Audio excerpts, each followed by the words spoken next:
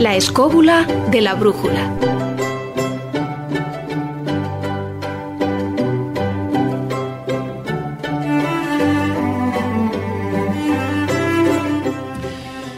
Buenas noches, queridos oyentes, amigos, escubuleros todos, tanto los que ya nos habéis localizado en podcast como los que nos iréis descubriendo en este nuevo año que acaba de empezar.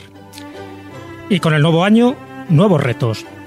Con los compases de esta hermosa música nocturna de las calles de Madrid, de Luigi y Bucarini, os recordamos que ya estamos metidos de hoz y de coz en el mes de enero. Y que esta noche, sí, esta noche, como no podía ser menos, os proponemos un programa diferente, único, festivo, original, musical, sabrosón y hasta un poco gamberrete.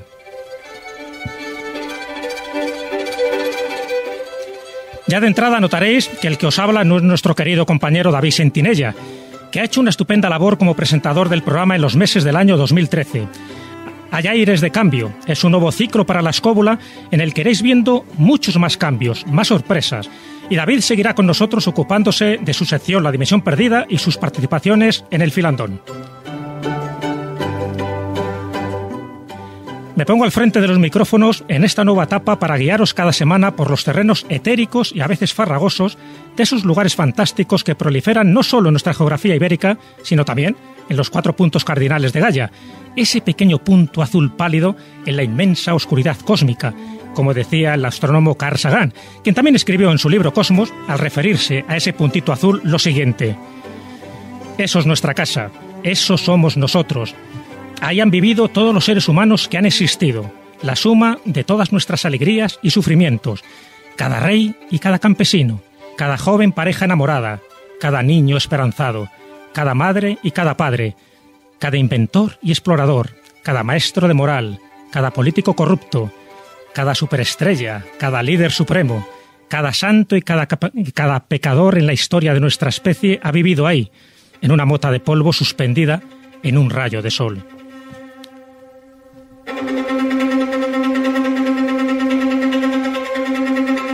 Con estas palabras de Carl aterrizamos ya en el planeta Gaia, en Escobulandia, en nuestro estudio, y sin más preámbulos empezamos este programa de esta nueva etapa, que para luego es tarde.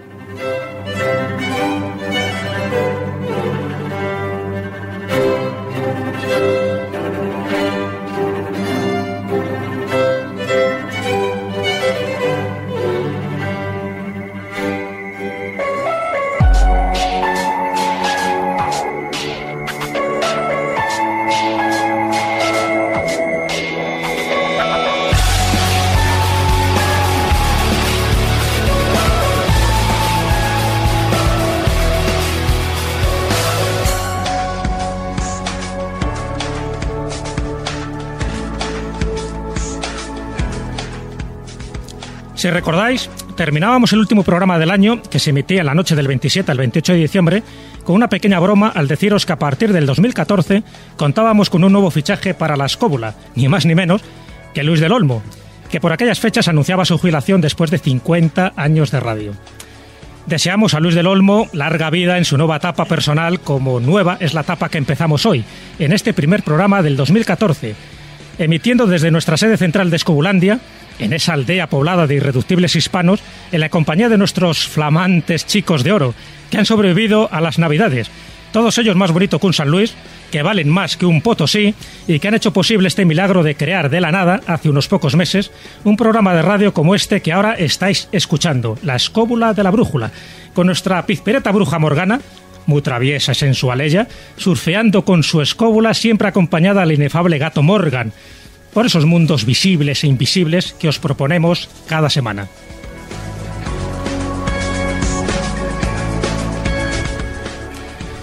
Y por antigüedad, porque las canas no solo dan carácter y personalidad, sino también prioridad a la hora de sentarse en el autobús, tenemos a...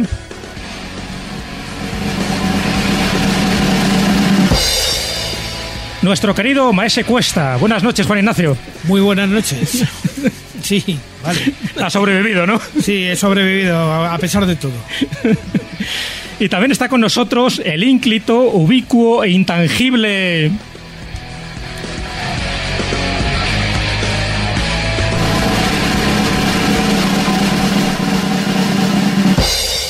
Carlos Canales, ¿quién si no? Al lado de Juan Ignacio nada. ¿Algún- ¿Alguna lesión? Eh, una pequeña, un pequeño fallo con cuchillo, pero sin importancia. Nada, tienes los 10 dedos perfectos. Sí que no estaba afilado, sido un fallo.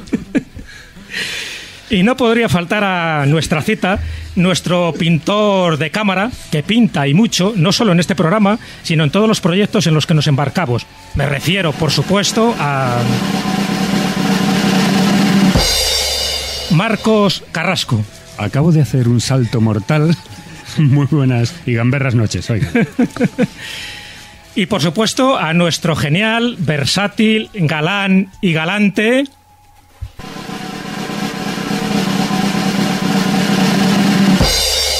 David Sentinella. Hola, muy buenas noches, Jesús. Todos tus miembros perfectos, intactos. Yo de esa gran no dice nada, tío. Los míos sí, los de Carlos no lo sé.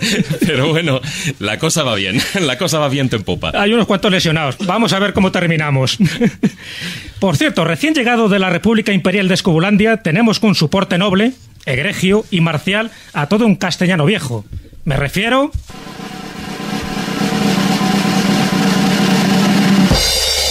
a Javier Sánchez Barba. Hola, buenas noches. El Sánchez bien y la barba también. De momento. De momento, ¿no? Tocamos madera. momento. Y a nuestro Benjamín, que aunque joven de edad ya atesora conocimientos milenarios que nos va dosificando cada semana. Me refiero a nuestro particular hombre renacentista. ¿A quién? A Miguel Zorita. Hola, buenas noches y feliz año a todos. ¿Qué tal? Muy bien, de momento bien. De los uno de toda la vida. Sí, por- Y manipulando el equipo técnico para que esto suene como Dios manda, al otro lado de la pecera, al gran mago Alberto Bernabeu, grande entre los grandes. Muy buenas noches, Albert.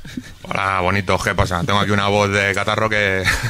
Oye, oye, ha faltado el redoble, ¿eh? Ha faltado el redoble. Es que. Me lo pongo, me lo pongo. Es que está detrás de la pacera.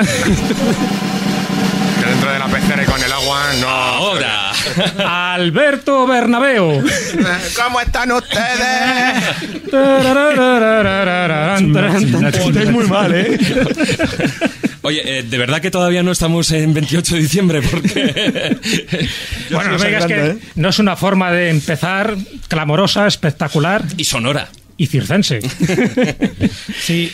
Bueno, Vamos. Nunca, mejor dicho, había una vez un circo como el que hemos estado liando aquí. ay, ay, qué voz, qué voz sonora. Y Bueno, que Ve que es joven, ¿eh? y el que os habla esta noche, haciendo de maestro de ceremonias con voz aterciopelada, en fin, después de haber bebido un buen chupito de genarín.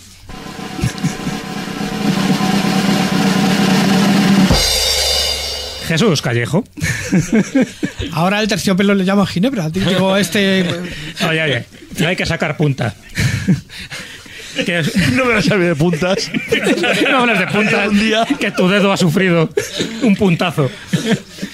No solamente el dedo de Carlos ha sufrido, porque el mío también me ha llevado a hacer un curso de astronomía durante estas navidades en el cual he podido. No, y te has pegado un martillazo. Claro, he podido observar al Debarán y todas las estrellas del universo acompañadas de diversas Pero imprecaciones. eso te pasa por señalar, hombre.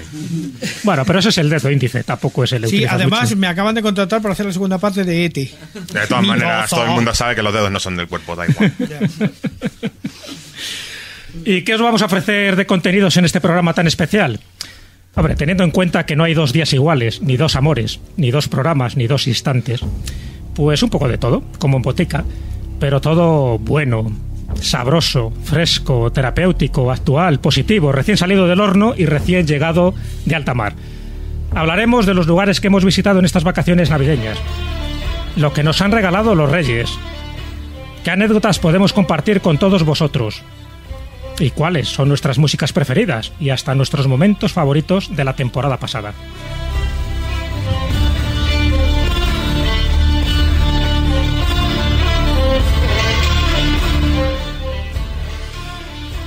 Con esta música de fondo de Trevor Jones, para la banda sonora del último Mohicano, que nos evoca viajes de aventura, épica y pasión, vamos a hacer un viaje en el tiempo para retomar un momento de nuestro primer programa, aquel que hicimos sobre la Capadocia, ¿os acordáis?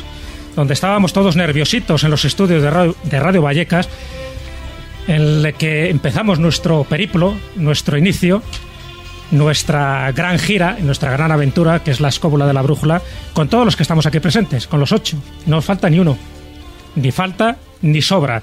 Y yo creo que es un momento para recordar esa parte emotiva, esa parte histórica que tiene el programa y que ahí empezó todo, se puede decir, todo lo bueno y todo lo malo. Yo creo que es más lo bueno que lo malo, pero sería bueno recordar aquel sonido, aquella técnica de Radio Vallecas, al que estamos muy agradecidos porque ellos apoyaron y apostaron por este proyecto y que sonaba algo así como aquellos minutos memorables y casi interminables. Seáis todos bienvenidos a la Escóbula de la Brújula. Un nuevo programa de radio que nace con la sana intención de ser original, diferente a otros programas de ámbito nacional o local que se emiten en la actualidad o que hayan viajado por las ondas a lo largo de la historia de la radio. Sí, porque La Escóbula de la Brújula es un programa eminentemente viajero, donde los buscadores de rarezas y de curiosidades tendrán un billete asegurado para visitar lugares mágicos y conocer sus leyendas y sus historias. También hablaremos en este... Cuéntanos, David, ¿cómo viviste aquella experiencia, aquel Bueno, primer programa? Me imagino que, como todos, con nervios, con muchos nervios, porque, bueno, como tú bien estabas apuntando, era ese inicio, esa andadura, con, por unos caminos a los cuales, bueno, pues eh, todos nos conocíamos, habíamos coincidido en diferentes medios de comunicación, yo venía, todos veníamos de diferentes medios, y era una manera de, bueno, de empezar... eh, otra aventura absolutamente diferente a la que cada uno habíamos vivido. Y como decíamos ahí en esa presentación y, y recuerdo que hice eco con esos dos personajes ahí en el horizonte uno era Juan Antonio Cebrián el otro Fernando Jiménez del Oso esos dos personajes que nosotros teníamos de referencia por haber trabajado con ellos por haber vivido parte de nuestra existencia con ellos de haber tenido la suerte de haber compartido tiempo, micrófonos, trabajo y, bueno, y ese nerviosismo por todo lo que todavía nos quedaba por delante y porque no sabíamos evidentemente cómo iba a reaccionar la audiencia. Sí, la verdad que aquel marzo del 2013, que es cuando empezamos nuestra andadura, era un momento de expectación por parte de todos. Todos nos mirábamos, no sabíamos perfectamente dónde nos iba a llevar esta, esta aventura radiofónica, pero como tú bien dices, eh, compartíamos experiencia, compartíamos pues las ganas de hacer buena radio y al final pues los oyentes eh, nos han dado ese aplauso y sobre todo ese respaldo para que todavía a día de hoy estamos empezando un año pues sigamos, sigamos en estos micrófonos y sigamos sobre todo ofreciendo pues viajes, eh, novedades y yo creo que aventuras. Las aventuras muchas veces no hay que salir de casa. No, no, por supuesto. Y además innovando como hemos hecho a lo largo del año y seguimos haciéndolo. Que la gente no piense otras cosas. Esto es pura innovación, como, Totalmente. como la sección de, de Carlos Canales, ¿no? Y, y tuya, Canales eh, de la innovación. Pues eh, aquí seguimos innovando, lo hemos seguido haciendo durante todo este año pasado, 2013. Lo vamos a seguir haciendo en este 2014, este retoño. Y bueno, pasamos por hacer programas de las secciones, por traer invitados, por hacer monográficos, por hacer programas en directo, vivo y en directo con público desde fuera. Y bueno, lo que evidentemente lo que nos queda por hacer es eh, todo, todo, porque bueno, esto es, como decíamos, la punta del iceberg. Eh, las ideas en las reuniones os, as- os aseguramos que se nos aglopan en la nos agolpan en la cabeza porque queremos hacer 50.000 cosas y a veces nos falta el tiempo, como bien sabes Jesús. Ay, ay, ay, siempre el tiempo, ¿no? Pero bueno, esa cuarta dimensión la solemos manejar bien. Entramos y surfeamos bastante bien en la cuarta dimensión. Comentaba al principio que también cada uno de nosotros hemos traído nuestras músicas favoritas. Así que sorpréndenos, David, ¿cuál es tu primera música favorita y por qué has traído esta? Bueno, además fíjate, recuerdo que era una de las eh, músicas que incluso barajamos como sintonía.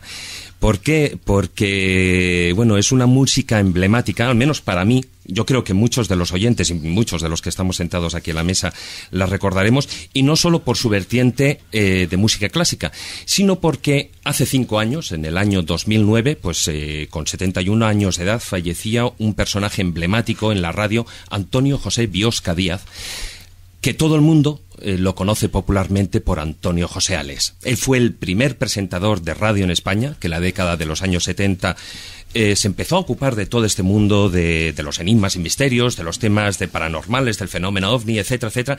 Y eh, present, él mismo presentaba y dirigía lo que fue ese programa emblemático en el mundo de la radio española, Medianoche. Y su sintonía era ni más ni menos que un fragmento de la cantata escénica del Carmina Burana, de Karloff, exactamente lo que es el O Fortuna, que es la primera parte del preludio del Fortuna eh, Imperatrix Mundi, que también se repite al final de la obra. ¿no? Entonces, mm, yo creo que, si quiere Alberto, puedes irla pinchando porque a todos nos recordará.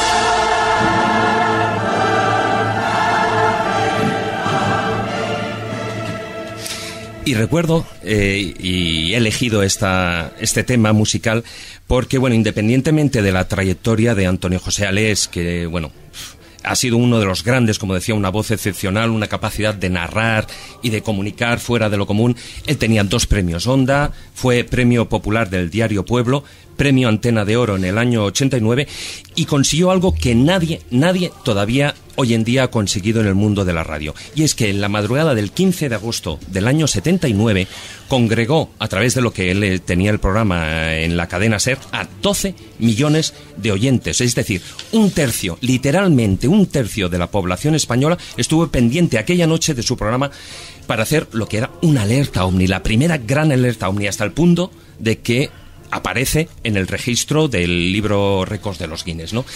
¿Y por qué representan? Evidentemente no solo por ese recuerdo, porque yo creo, bueno, yo crecí escuchando por las noches, recuerdo junto a mi padre, eh, escuchando ese medianoche, sino porque después, posteriormente, lo que estamos escuchando es que, bueno, muchos años después yo entré, tuve la inmensa fortuna de entrar a formar parte del, eh, del Orfeón Donostierra y uno, es uno de los grandes orfeones del mundo, eh, aunque lo tenemos en España, es mm, hemos grabado, cantado con grandes orquestas, Filarmónica de Berlín, Londres, Francia, por supuesto la Orquesta Nacional de España, etcétera. Y esto que estáis escuchando es una grabación que hizo el Orfeón de Nostierra con la Orquesta del Capitol de Toulouse y dirigidos por Michel Plasson.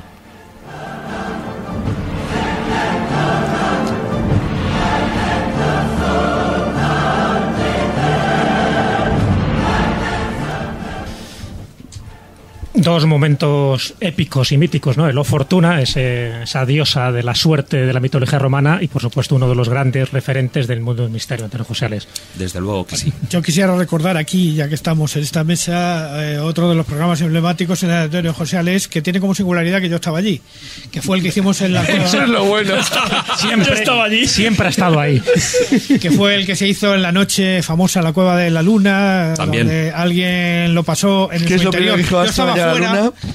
yo estaba fuera pasando bastante frío ¿eh? y ese ese programa fue absolutamente emblemático porque yo creo que le escuchó todo el mundo y tal bueno pues algunos estábamos allí estábamos fuera pasando bastante frío yo era absolutamente un ser ignoto Es que en Titulcia hace mucho frío por las noches. Sobre todo en aquella época.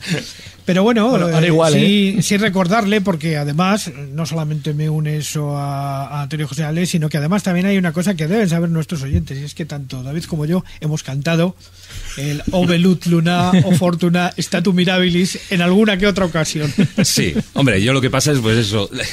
Afortunadamente el hecho de estar con el Orfeón de Nostierra me llevó pues a viajar por medio mundo, a cantar esto en, en innumerables lugares. De, de la geografía y que bueno pues o sea es uno de los recuerdos. Yo cuando en su momento eh, lo canté por primera vez o sea, a mí se me caían las lágrimas de la ilusión, de la alegría, y yo tendría unos 19 años, ¿no? En aquel momento cuando entré en el Orfeón de Nostierra. Fueron, estuve durante 7, 8 años, y fueron unos años magníficos, con grandes amigos, compañeros, pero sobre todo, el hecho de poder cantar el Carmina Burana, lo que significa esa, esa cantata escénica, los textos que parten del siglo XII y XIII, ¿no?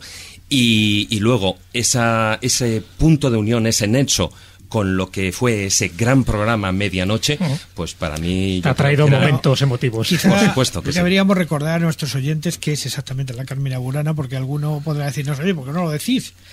Efectivamente, la Carmina Burana El son, Carmina Burana. vamos a decirlo claramente, lo que cantaba la gente en el siglo XII, los botellones. Lo- los goliardos. Bueno, la Los versión de la- efectivamente. Ignacio, la versión de Kalov, no. No, la versión de cosa. hombre, la versión de calor está más, más llevada a lo sublime.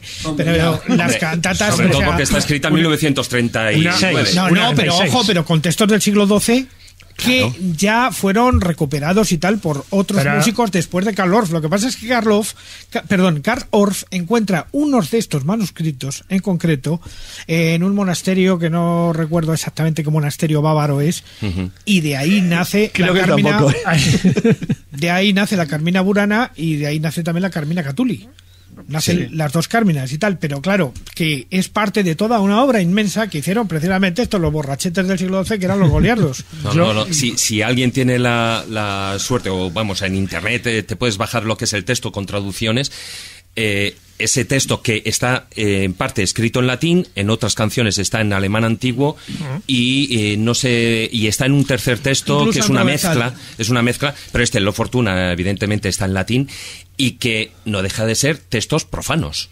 Claro, profanos, sí, o sea, que hacen referencia al vino, a las borracheras, a lo que es a, A la la diosa suerte, fuerte, ¿no? a la suerte, A la lo- diosa- Y a- a lo y al importante. amor, Mira. al importa- al amor carnal. Cuando yo la primera vez que escuché el Te he dicho que lo importante. Fue, fue en el año 82 y yo por el 82 solo oía heavy metal, más o menos como ahora, pero y me llamó la atención porque fue cuando empecé a oír bandas sonoras porque me marcó la carga del Rey Arturo que utilizaron el Carmina Burana Sí, para la carga. Efectivamente, pero además hay una cosa, todo el que, como tú dices, que empezó a escuchar el heavy metal, cuando yo escuché por primera vez la Carmina Burana, que era la época que andaba andando por la vena de, de los Barón Rojo y toda esta gente y tal, me pareció mucho más heavy que el heavy. O No, sea, lo- lo que es heavy- entrada es brutal. Lo que es heavy es la imagen de la película. O sea, Excalibur es eh, en la banda sonora, aparte de Wagner, que también sale, es brutal. Y a mí me dejó, empecé a intentar averiguar qué música era y fue, fue como lo conseguí.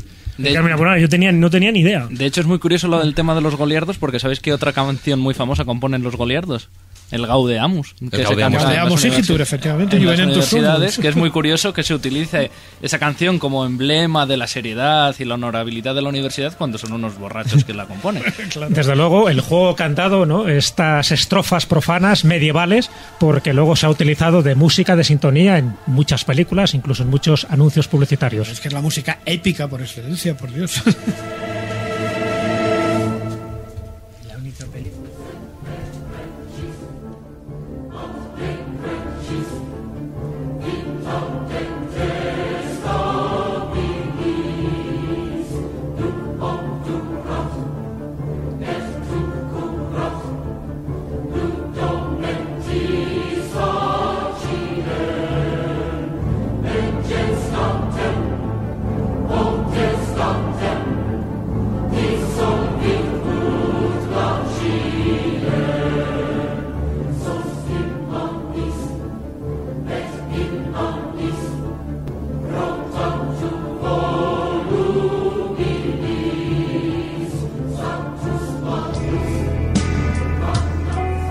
CB Administración.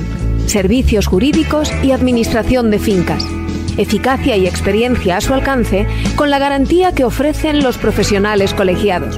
Teléfono 915-537-807. 915-537-807. Y en internet propietariosencomunidad.es.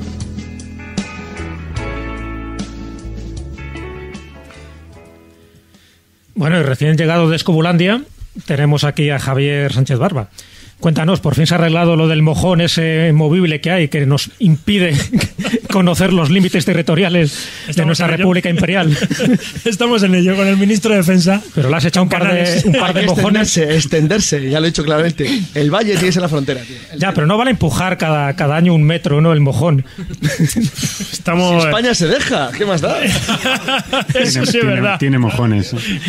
Ahora que no hay ejército que está desmantelado. Esto está acabado, tío. Está en el Líbano. Así que hay que aprovechar. Hay que aprovechar, ¿no? O sea, que el par de mojones lo tenemos. Por lo menos hasta Béjar hay que llegar. del par de, mo- lo del par de mojones. Ya verás hasta Ya verás, ya verás tú cómo salga el tío la garrota Lo del par de mojones de Jesús se ha quedado. Por cierto, Javi, eh, sabes un mojón de música, ¿no? Pero macarra, tío. Javier no sale de ahí. ¿eh? Como estamos hablando de nuestras músicas favoritas, creo que te toca el turno para que nos digas tu primera canción, esa que has seleccionado para sorprendernos no solo a nosotros, sino a todos los oyentes con esa música que te ha hecho Telín. Pues eh, ha sido difícil, ha sido difícil. Son años, son años, son años pinchando y poniendo música en, en algunos garetos de amigos y creo que he elegido por el tema social que nos rodea en este año que comienza un disco que me marcó mucho en la antigua sala canciller de la gira del año 91 de Molina, 91-92, El Imperio de Paletos, con eso lo digo todo. Y una canción que se llama Galeras, que en cuanto escuchéis la letra, a algunos se dará por aludido. De que- De los Ñu, de los Ñu. De Ñu y además del álbum Dos años de destierro, lo cual también el nombre dice bastante. Así es, es eh, Anderson. eh, aquí Juan Ignacio lo podrá defender.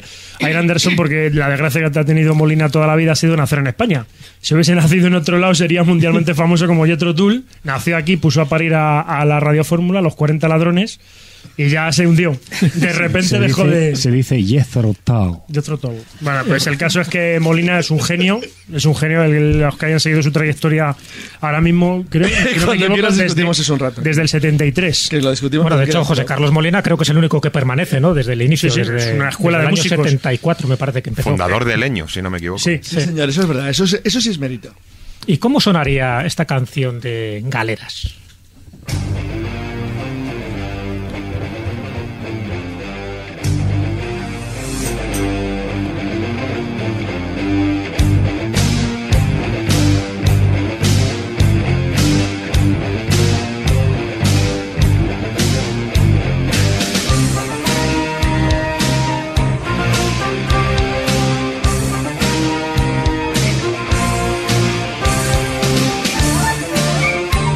Estoy imaginando a los galeotes remando Charles Heston. y este es el compás que les indicaría para que vayan remando, sudando y, y como dice el chiste, ¿no? Cambiándose al final los cancioncillos unos con otros. Porque la, la sanidad no es lo que más primaba en aquellas épocas. Carlos yo creo que conoce bastante. ni ahora tampoco, Ni ¿eh? ahora tampoco, ¿no? Se te paga para que remes. Rema y vive. Tú ríete que he visto hoy un contrato. No, de- es- se te mantiene con vida para que remes o algo parecido. He ¿no? visto hoy un contrato de trabajo que te ibas, se te saltan las lágrimas. Sí. Segunda mano. De remero. de remero casi. Anuncio buscando dependienta. Dos meses a prueba. Dos meses a prueba sin pagar, joder, Sin pagar. Y después, si, también. si estamos a gusto, te llamo de vez en cuando. Pero no es explotación, ¿eh? No. No, no, las órdenes de ningún payaso. Juegue a que eres el rey. Si movemos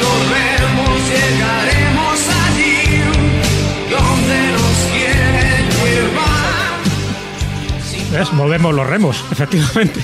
La verdad es que esta música de New combina bastante, ¿no? La música medieval, la música celta, el heavy metal, hay un poco de todo. Siempre, siempre ha combinado muy bien. ¿Mm? El rock ya empezó yo otro tour con ellos. Y aquí afortunadamente tenemos unos grandes grupos. Desgraciadamente solo se conoce a nivel comercial a los magos, pero los magos no descubrieron nada. Ya desde el 73 José Carlos Molina estaba, Hombre, hombre. estaba dando cera. Vamos a La primera, la primera de todas fue la banda de Vallecas. Sí, pero yo me refiero a rock celta de verdad. Comprometido.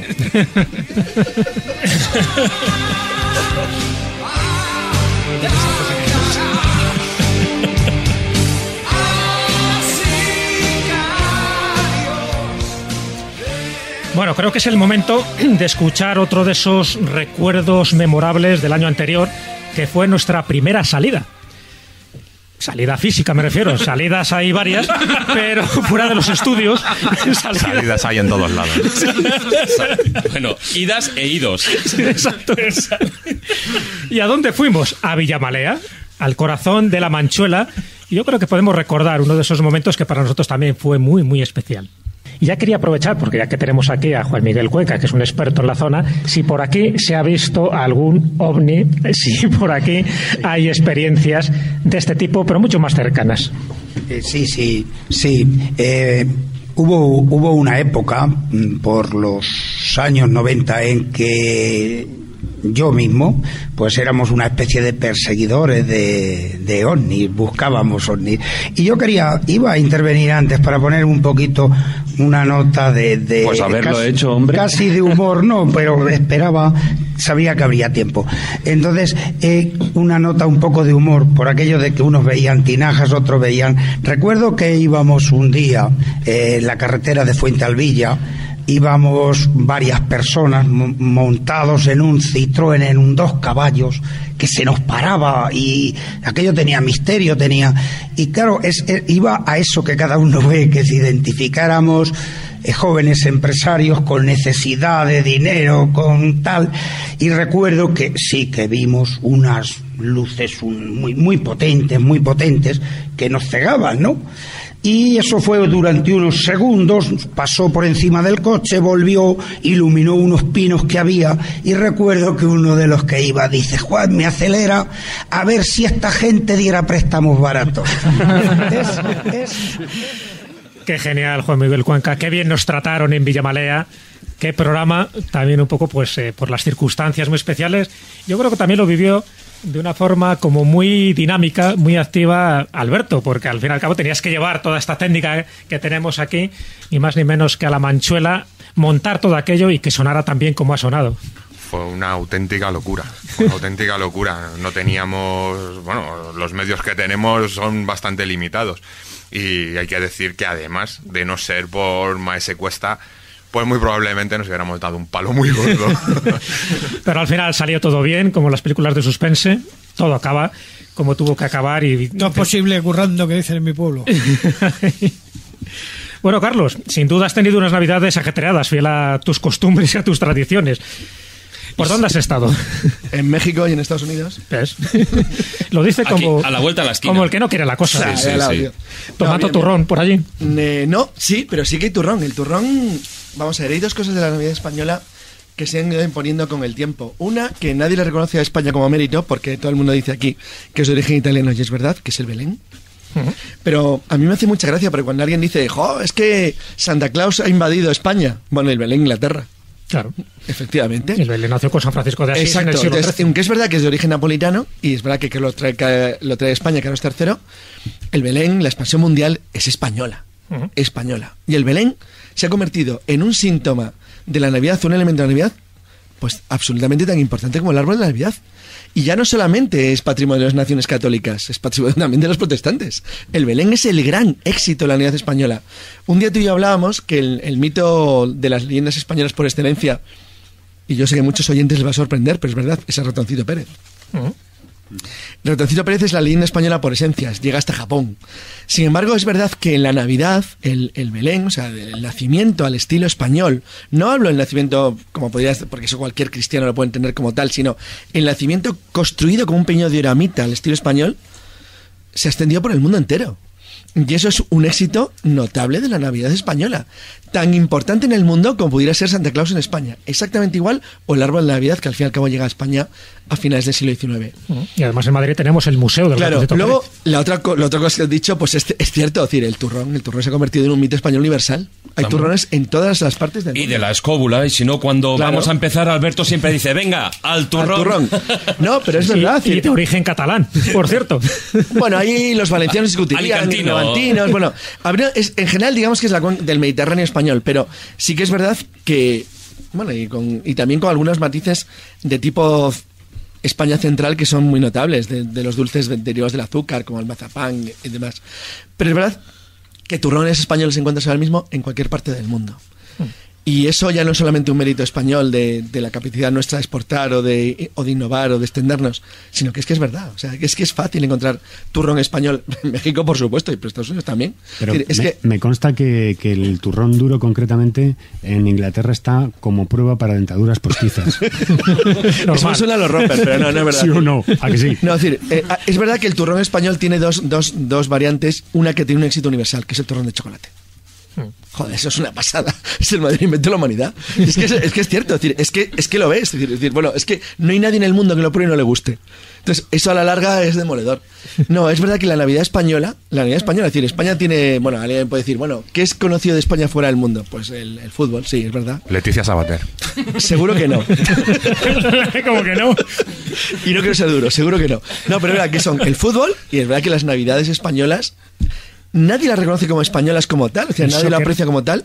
No, el soccer no, pero es que es, ¿El no, es el fútbol, pero que nadie lo aprecia como tal, pero sí, sin embargo, existe la posibilidad de encontrar mm, mazapán, turrón o belenes en cualquier parte del mundo y eso es muy importante. Carlos, Carlos, yo te digo una cosa, sabes que los deportistas, los ciclistas, en vez de llevarse barritas de esas energéticas y tonterías de esas guarrerías, Sí. se llevan Guarrerías, mazapán dilo. y turrón blando. El mazapán mola, tío. O sea, de verdad. Exactamente. No porque tenga David aquí, que tiene No, una no, no, parte si es que se te ha llenado la boca, mola. Sí, es, es que, pero es que el mazapán, el- No, no, pero Mazapán. solo hace falta ver la cintura, Carlos, para saber que está bueno el mazapán. está jodido. Desde que le he dicho que está gordito, está jorobado. ¿eh? Es un poco vengativo, ¿eh? No, no, está rabioso. Desde que le dije que está gordito. Saca No, el cuchillo. Es verdad. No, déjale, que, me he déjale cortado. que se mata. Hablando de Belén. No, no, eh, una, una cosa. Es decir, el, el mazapán. El mazapán tiene una gran ventaja y es que el mazapán se toma ya todo el año. El turrón es verdad que fuera de Navidades todavía es difícil de encontrar, sobre todo en Latinoamérica o en Estados Unidos es raro. Pero eh, a mí me han preguntado, y eso lo puedo decir ahora mismo, es decir, hace en apenas unos meses, me preguntaron en, al lado de la Puerta del Sol dónde podían comprar, una era mexicano, o sea, además es curioso, dónde podían comprar mazapán y le recomendé un sitio, Casa Mira, que está, muy a- está cerca. Es verdad, decir, el mazapán y el turrón se pueden comprar en España ya todo el año. Y realmente son de los mejores postres del mundo. Y hay una cosa que es, que es cierta, es decir, y es que somos capaces de exportar cosas realmente originales, pero que lo curioso es que no lo interpreta la gente necesariamente como español, lo cual me llama bastante la atención. Pero sí que es verdad que se puede encontrar. Y el que de hecho que se puede encontrar quiere decir que es que es muy bueno y se aprecia. Entonces, bueno, al final llega un momento, yo supongo, si imaginemos que fuera fabricante de turrón de Gijona, que me acaba importando un pimiento, que la gente sepa si es español o no, el queso es que lo compren, y lo compran. Lo cual quiere decir que es bueno, y ya está. Dos lugares emblemáticos hablando de Belénes para visitar que quiero recomendar porque los hemos visitado hace poco tiempo y son magníficos. Uno es el Museo de los Belenes que está en Carrión de los Condes. Sí, señor. Una verdadera Muy pasada. bueno, muy donde bueno. Hay belenes microscópicos, eh, hasta belenes gigantes. Y luego el Belén de Belénes, que es dentro de lo que es el Museo de Escultura de Valladolid. Encontramos la parte dedicada a Belenes, donde encontramos el Belén napolitano que Carlos, Carlos III. Jesús y yo lo vimos juntos, creo. Impresionante. Pues yo lo vi con Antonio Piñero, precisamente. Pues mira, ahora que hablo de Antonio Piñero, escribí hace pocos días un artículo sobre un tema muy simpático de los belenes, que son los cerditos del Belén. Claro. Que es, que es un anacronismo histórico, que es que no podría haber cerditos en el Belén porque los judíos no comen cerdo. Ya, Entonces, ni- que- ni- que- ni que- caganet, y sin embargo Claro, y eso es un elemento, claro, él se puso a debatir sobre esto y es un elemento fundamental en todos los belenes, que los belenes tienen que ser anacrónicos y desproporcionados. Siempre hay una mula que es más pequeña que un perro, un pato que es más grande que las personas. Todos esos elementos le, le aportan una licencia. Perdona, hay patos más grandes que personas. ¿eh? Bueno, Bueno, pero te- Y hay cabras y cabritos también. que ¿eh? en los dentro, de los mundos virtuales que el hombre ha creado, el Belén eh, admite todo tipo, es pluriforme, o sea, admite todo tipo sí, de. sí. Pluriforme, nadie de-. Se refiere o a que ha visto un Belén tú de puedes Juego de hacer Tronos. Un Belén como Sí, sí, quieras, o sea, como, como te parezca oportuno. claro. Mira, ¿Quién ha puesto los Playmobil de pequeño hace en el pocos Belén? días, por Claro. ejemplo, Eh, guardias romanos, tío. Claro, Yo, claro. yo- Mira, en mi casa, el niño Jesús era He-Man. Hace pocos días. El otro, día, el otro día estuve en casa de Rodrigo, el preboste de la asociación de la EA, que para tomarme medidas para mi armadura para reventar a Carlos. En el duelo. Y estaba el Capitán América en el Belén. Y tenía hecho un Belén, había metido tres cohortes romanas. Digo, ¿pero esto qué es? Era un despliegue romano en formación en el castillo de Pilato. Había más que todo Palestina, pero bueno. Bueno, bueno, Increíble. ¿qué, qué Belén estáis montando? Hace pocos días estuve con, con nuestra amiga Gloria Alonso y su marido en el Escorial viendo el Belén este que se desarrolla a lo largo de las calles, donde hay personajes vivos y personajes reales. Por ejemplo, el castañero era un tío vestido palestino y tal. Y, y la verdad es que es todo un espectáculo, un espectáculo de, de imaginación y de, de, bueno, y ahí todo el mundo participando con lo que tiene, pues nada. Llevar a Kefia blanco y negra, ¿en serio? Los buenos de los belenes es que queda muy bien definido lo que es la parte espiritual o bíblica y de la parte profana. Y la parte profana cada vez hay más elementos que lo enriquecen.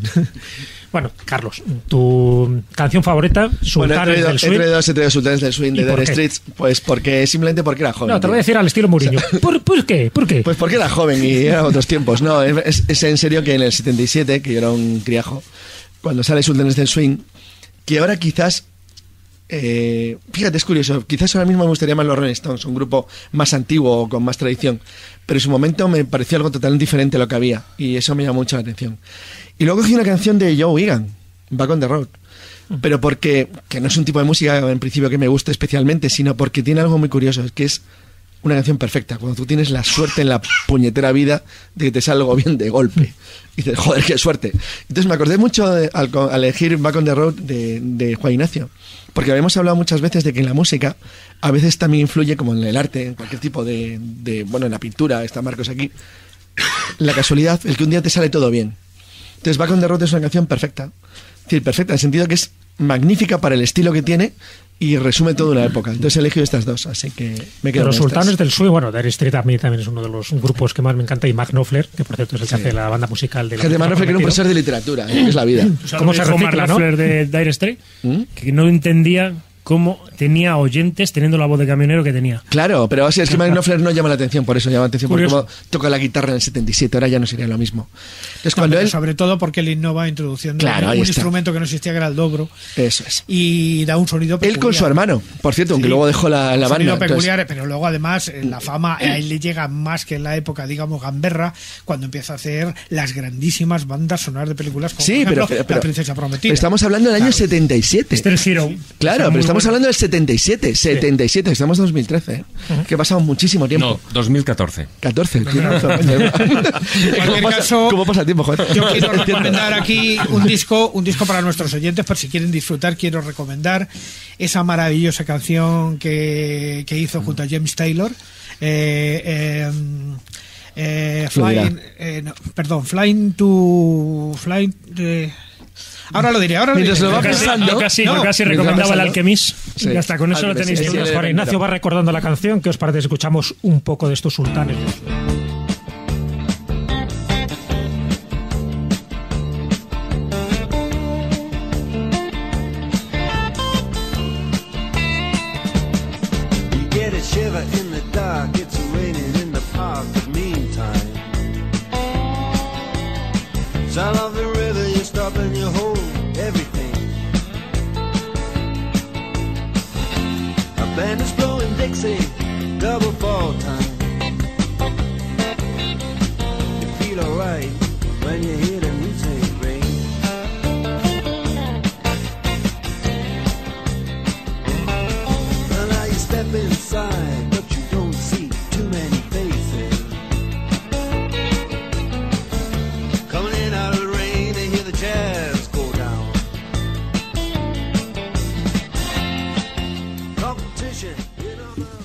Ignacio Cuesta, en cuyo honor hay un nombre en el mapa geográfico de Escobulandia, que ya lo hemos bautizado como la Cuesta de los Lamentos. Por una vieja leyenda que se cuenta por esos lares. Pero tú conoces muchas leyendas y muchos lugares. Sorpréndenos. ¿Dónde has estado en esta época sustilcia? Pues mira, no he salido. Te digo yo que. Esta vez, lo que ha sido estos días de, de Navidades, he estado en un cuarto de mi casa, pero eso sí, desde él he visto prácticamente todo el universo. Gracias a un martillo. Lo que hace la droga. Gracias a un martillo que deposité violentamente sobre mi dedo y que me llevó a ver Saturno, las estrellas. ¿Ves? Y luego metéis con mi corte de Sí, sí. cuchillo, ¿ves? Y lo que no, lo que me extraña es que no llamarais, escucha, eh, vamos, con los berríos que metí. Eso es lo que me extraña bastante. Por cierto, hace un ratito comentaba una canción que se me había ido el nombre. Se trata, el disco, repito, se llama Shailene Philadelphia, que es un disco de colaboraciones de Mac Knopfler con otros cantantes, pero sobre todo el tema Shailene Philadelphia, que lo canta nada más ni nada menos que con el más grande, James Taylor. Una verdadera maravilla, si alguien lo quiere escuchar. Bueno, y la música de tus entretelas, ese que te tienes en la recámara y que te emocionas cada vez que la escuchas. Entre martillazo y martillazo. Bueno, Claro. no es que me emocione. No, se es emociona que- con facilidad, sí. No es que me emocione, es que cuando se pone sobre la mesa el elegir... Conocí al líder de los Doors, ¿eh? Esto ya no es nada. Eh, Bueno, a bueno. Jim Morrison. No, no, no es verdad, ya sabéis que no es verdad, que yo estaba equivocado, pero bueno. Eh, Del Club de los 27, que luego lo haremos. Cuando propusisteis eh, una música que, que te guste o que te parezca lo suficientemente emblemática, pues claro, uno siempre normalmente tira lo grande a buscar un universal, algo que digas, es que esto es el compendio de toda sensibilidad o de toda cosa. Y eh, a mí, bueno, pues se me planteó el, el, eh, dije, bueno, vamos a ver, dentro del ranking de todo lo que has escuchado en música a lo largo de tu vida, como melómano que eres, y que conoce Modesto ante todo. no, es verdad. pues, eh, yo llevo escuchando música muchos muchos años y, y he escuchado mucha, mucha música. ¿Con cuál te quedarías de todas como número uno? Y he dudado, he dudado, porque es que hay obras maestras por todos los lados. Pero he elegido una que es sencilla y compleja a la vez. Empieza muy sencillita. Muy sencillita. Nada más que dos instrumentos, nada más un fagot y un fagot y, creo que es creo que es un clarinete. Empiezan nada más así, pero va creciendo y va creciendo, va creciendo hasta llegar a alcanzar una complejidad sublime y para mí es posiblemente la canción espiritual eh, más importante quizá de todos los tiempos y es debida a Juan Sebastián Bach y se trata de Jesús, tú eres mi alegría, cantata número 140 del genial Peluca. 147. Eh, 147 del genial Peluca. Vamos allá.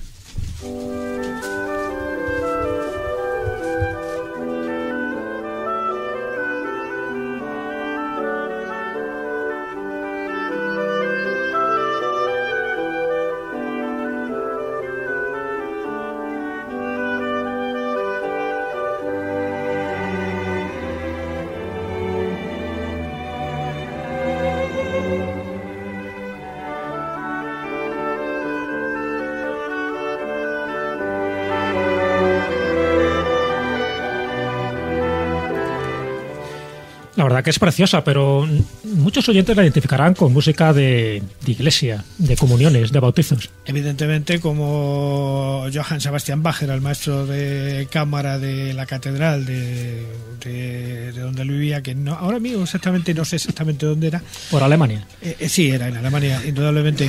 Pero lo diré en cuanto me acuerde. Es que a veces se me producen estas lagunas.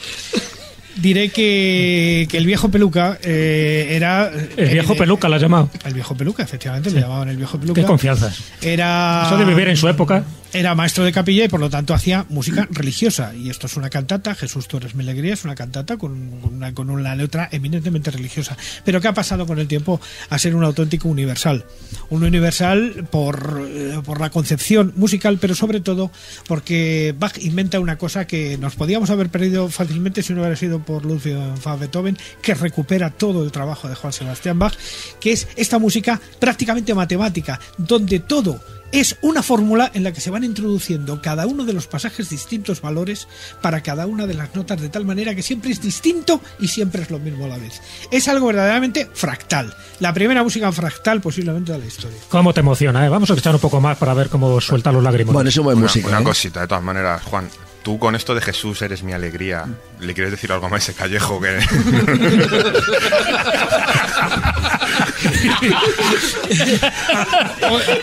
Escuchemos la música.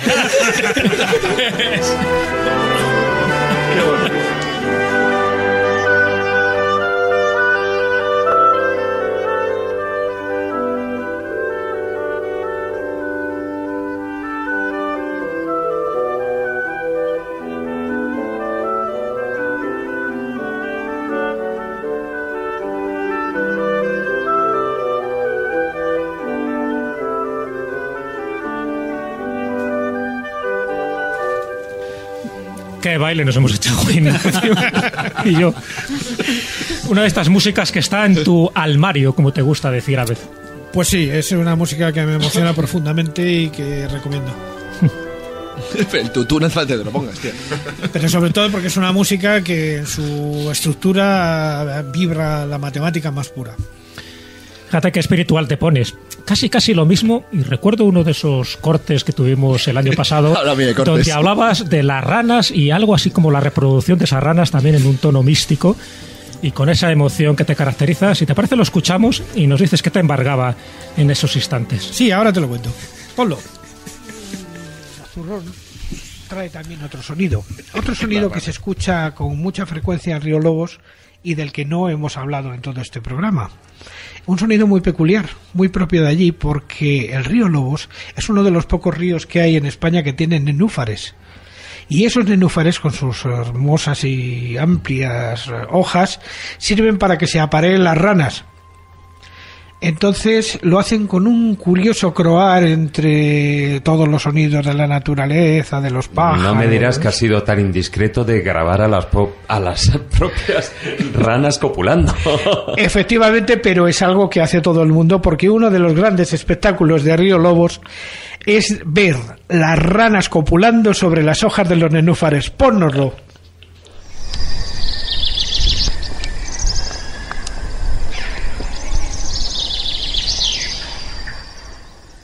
Casi de pónselo. Pónselo, pónnoslo. ¿Cómo era? Sacáis punta de un diamante. Uy, ha vamos. dicho punta. Uy, lo que ha dicho. punta de un diamante, golfos.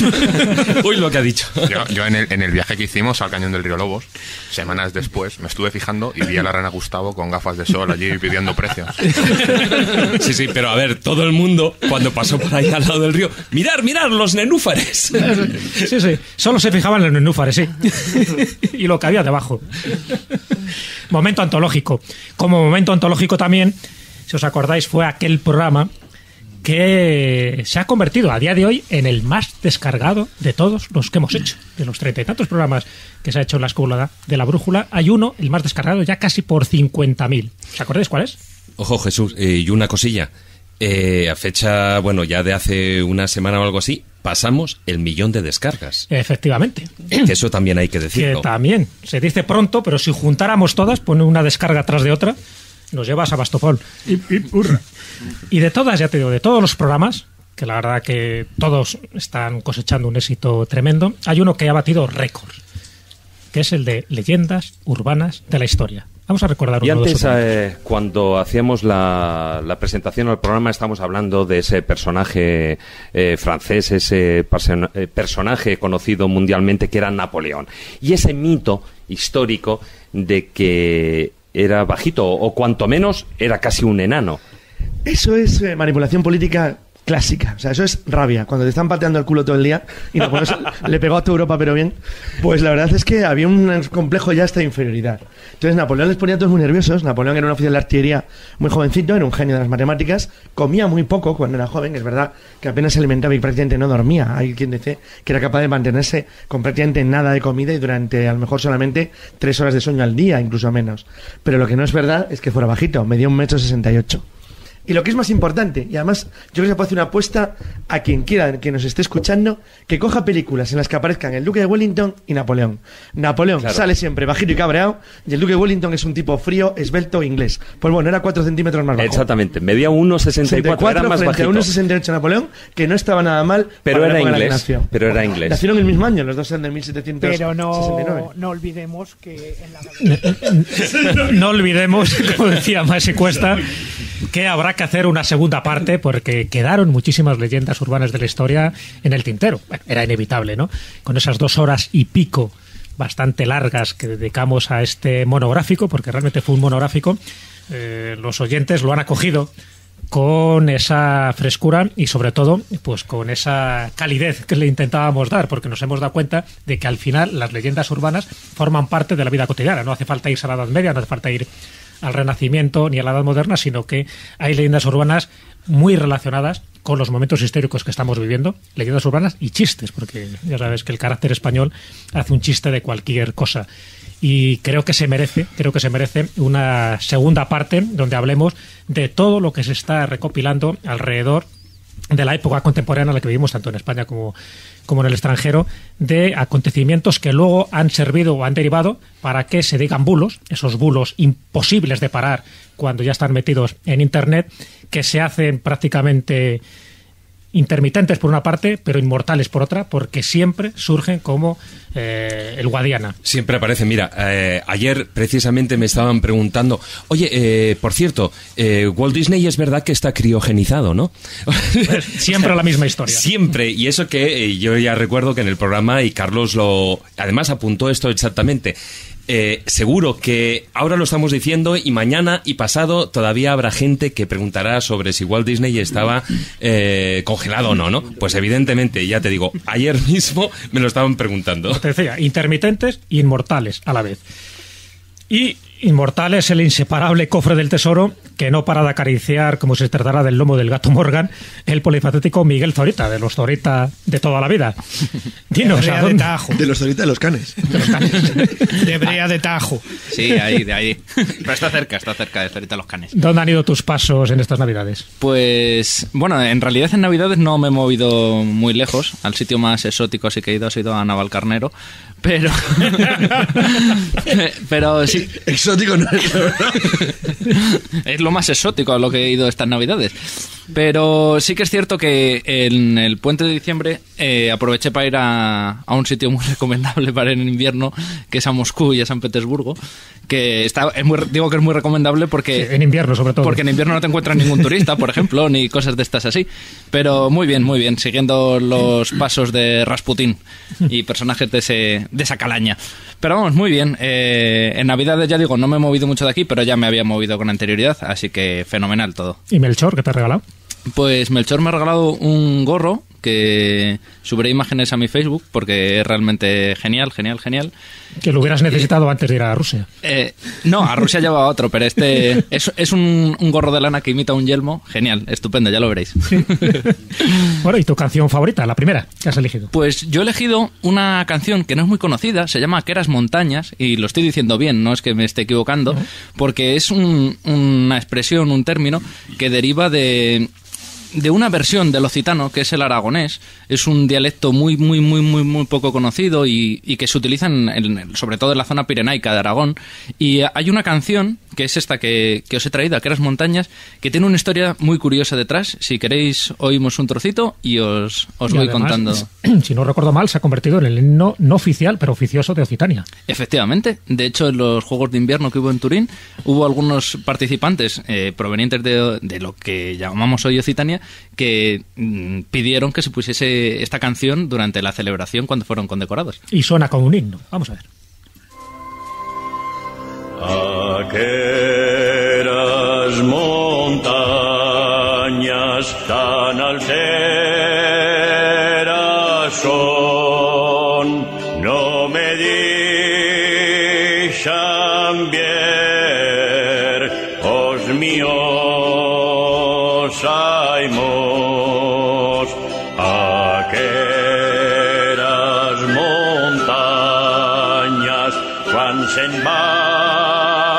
baixaran i os míos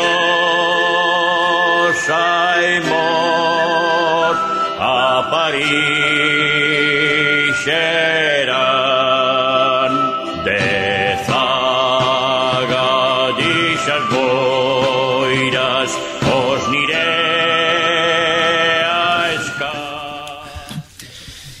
Esas montañas que son tan altas me piden ver dónde están mis amores. En el fondo, no es un himno patriótico, sino que es como la vida misma. Claro, de hecho se, se deduce o se piensa quién puede ser el autor, que es nada menos que Gastón Febus, que Vale, es el conde de Foix. efectivamente al que llamaban el León de los Pirineos, y que en este caso, en la versión a José Antonio Labordeta, que es por, gracias a la persona por la que conozco yo esta canción. Y es me- a mí me resulta especialmente emotiva porque el día que la conocí fue, eh, bueno, el día, ya la conocía de antes, pero el día que más me impactó fue el día de la capilla ardiente de José Antonio Labordeta, que fui allí a Zaragoza con un amigo.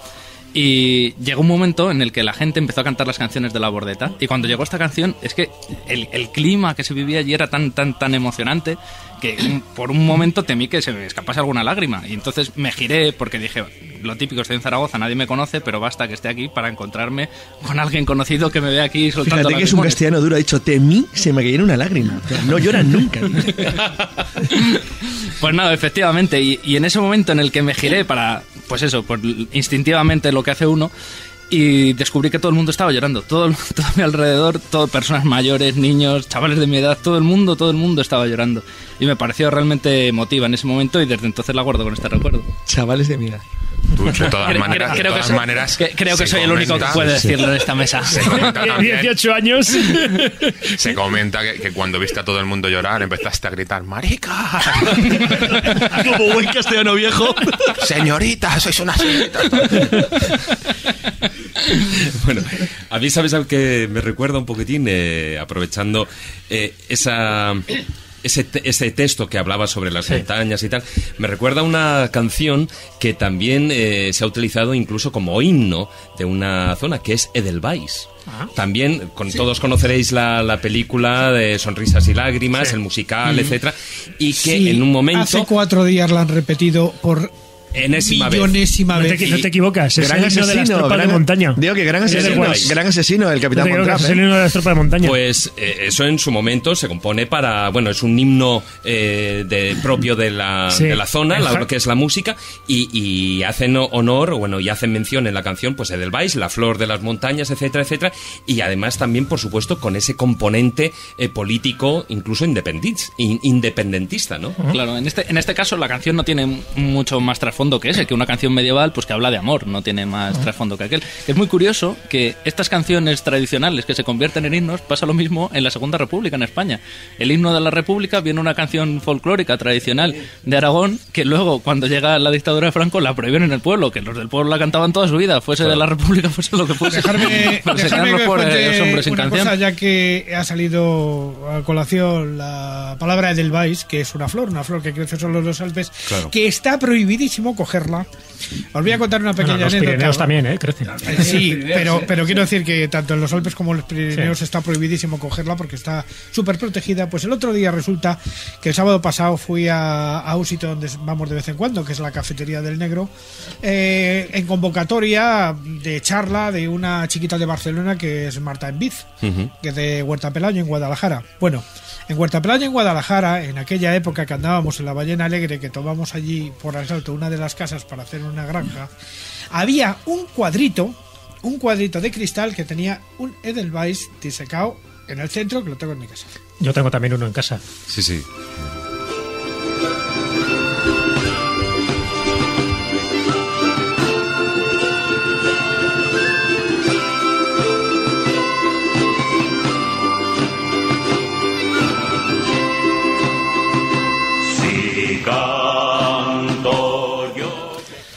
Te entiendo, Miguel. También emociona esta canción y más si estás en el funeral de la bordeta. Sí, sí, sí. Señoritas. Ay, qué duro eres, Albert. Y con las manos manchadas, no de sangre, sino de pintura al óleo, Marcos Carrasco, que me imagino, me imagino que en estas Navidades y estos Reyes algo relacionado con la pintura te habrán regalado. Eh, pues no, te equivocas. Vaya, no doy una. Me han regalado un didgeridoo. Toma. Y eso es algo totalmente impactante porque, bueno, no sé si... Oye, lo- lo siento, pero tiene nombre de objeto sexual. Exactamente, bueno, pues es, es para hacer pedorretas por un tubo, ¿no? Que es- Entonces es un instrumento aus- australiano, la verdad es que me han impactado. Y nada, he estado haciendo pedorretas por un tubo por todos los rincones de la casa. ¿Ves, ves? Tubo, tubo, tiene relación con la pintura. Exactamente. Bueno, es que es un instrumento que se toca con pedorretas, para que no nos engañemos. Es una pedorreta continua a base de una gaita que se hace con la boca y tal. Y entonces, nada, estaba explorando pues el tema de cómo se hacía eso, cómo lo hacen los aborígenes australianos y toda esa historia. aparte, de, aparte de que también me he dado una vuelta por la capital de Scoulandia, Morganápolis del Tormes. Y también he ido pues también por una serie de parajes muy, muy bonitos, como Garganta Canales, el Pico Sentinella, el Valle de Zorita, donde he oído los mejores gritos escouleros, bueno, aquí reproducibles porque la verdad es que... No lo mm, captan los no, micrófonos. lo captan, teníamos que hacer un programa con todo esto. Y eh, la última localidad que me ha encantado ha sido Villamojón de los Escobuleros. Y la Pedrería Oye, del bueno, Orco, que- la Sierra Llana. Oye, ¿y has conocido y has conocido subiendo para la montaña la cuesta al cuesta? Tal que- Está muy cerca de las lagunas mentales, sí, sí. Sí, efectivamente. ¿Cómo sería uno de esos gritos, Marcos? Bueno, fa- aquí faltan frecuencias, ¿eh? Pero no, eso es que te ha pisado el callo. Pero el grito No, escobulero. pero hay varios, hay varios, varios. hay varios gritos, o sea, es, es que según la categoría de cada uno y según el orden jerárquico que ocupe socialmente, hay que empezar por el más bajo de todos, que es "Ño", y luego ya empieza a subir posteriormente hasta llegar a lo que ha cantado aquí. amigo. No me pienses que llevo chanclas. Creo que de ese grupo ya desaparecido has elegido uno de los temas, Marcos. ¿Cuál de todos? eh, el título de la, de la canción es ¿Y tú de quién eres? Bueno, yo... mm, Es un villancico. Exactamente, es un villancico popular. y me he decantado... Dime, niño. y me he decantado por el tema del humor porque eh, el humor es da la suficiente eh, inyección de endorfinas cuando se est- está uno muy muy deprimido. Sobre todo este este grupo sevillano con un acentazo estupendo eh, predecesor de los mojinos escocíos con ese acento sevillano tan bonito. Y es que en esta en este título está im- implícito una cuestión que yo la he vivido de cerca. ¿Y tú de quién eres? Cuando a ti en las, en las poblaciones pequeñas, en las ciudades pequeñas, te preguntaban, ¿y tú de quién eres? Como diciendo, eh, bueno, vamos a ver eh, cuál es tu árbol genealógico, sobre todo para tener como, como un cotilleo, una vieja del visillo constante, para ver si los árboles genealógicos se, se entrecruzaban. Es decir, como no había televisión, pues lo lógico era pues preguntarle a la gente Claro, no. Y además, como tú decías, o sea, si tú decías los apellidos no servían, tenías que decir el mote. El mote, de la familia. Claro, El- ¿eh? el- Que yo soy de Caparranas. Tal, No, Claro. yo soy Pachón. Eh, si, dijiste un día, oye, no has traído bizcocho, te oyen en el bar y ya te quedas para el bizcocho por toda la vida. O sea, quiero decir que. Tremendo la vida de los de pueblo, tío. Hombre, he mencionado eso porque nuestro querido y llorado Juan Antonio Cebrián era Caparrana, en su pueblo. Bueno, ¿Y tú de quién eres? Vamos.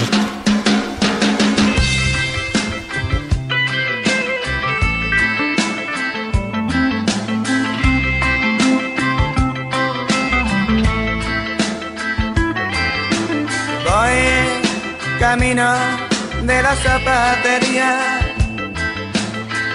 a comprarme una chancla para mí. Y me paro muy tranquilo a ver un escaparate. Y se me pone al lado una vieja con un roete. Yo no conozco a tu madre ni a tu madre, pero a tu tío sí. Seguro que es familia mía y me preguntaba otra vez. ¿Tú de quién eres? De Marujita.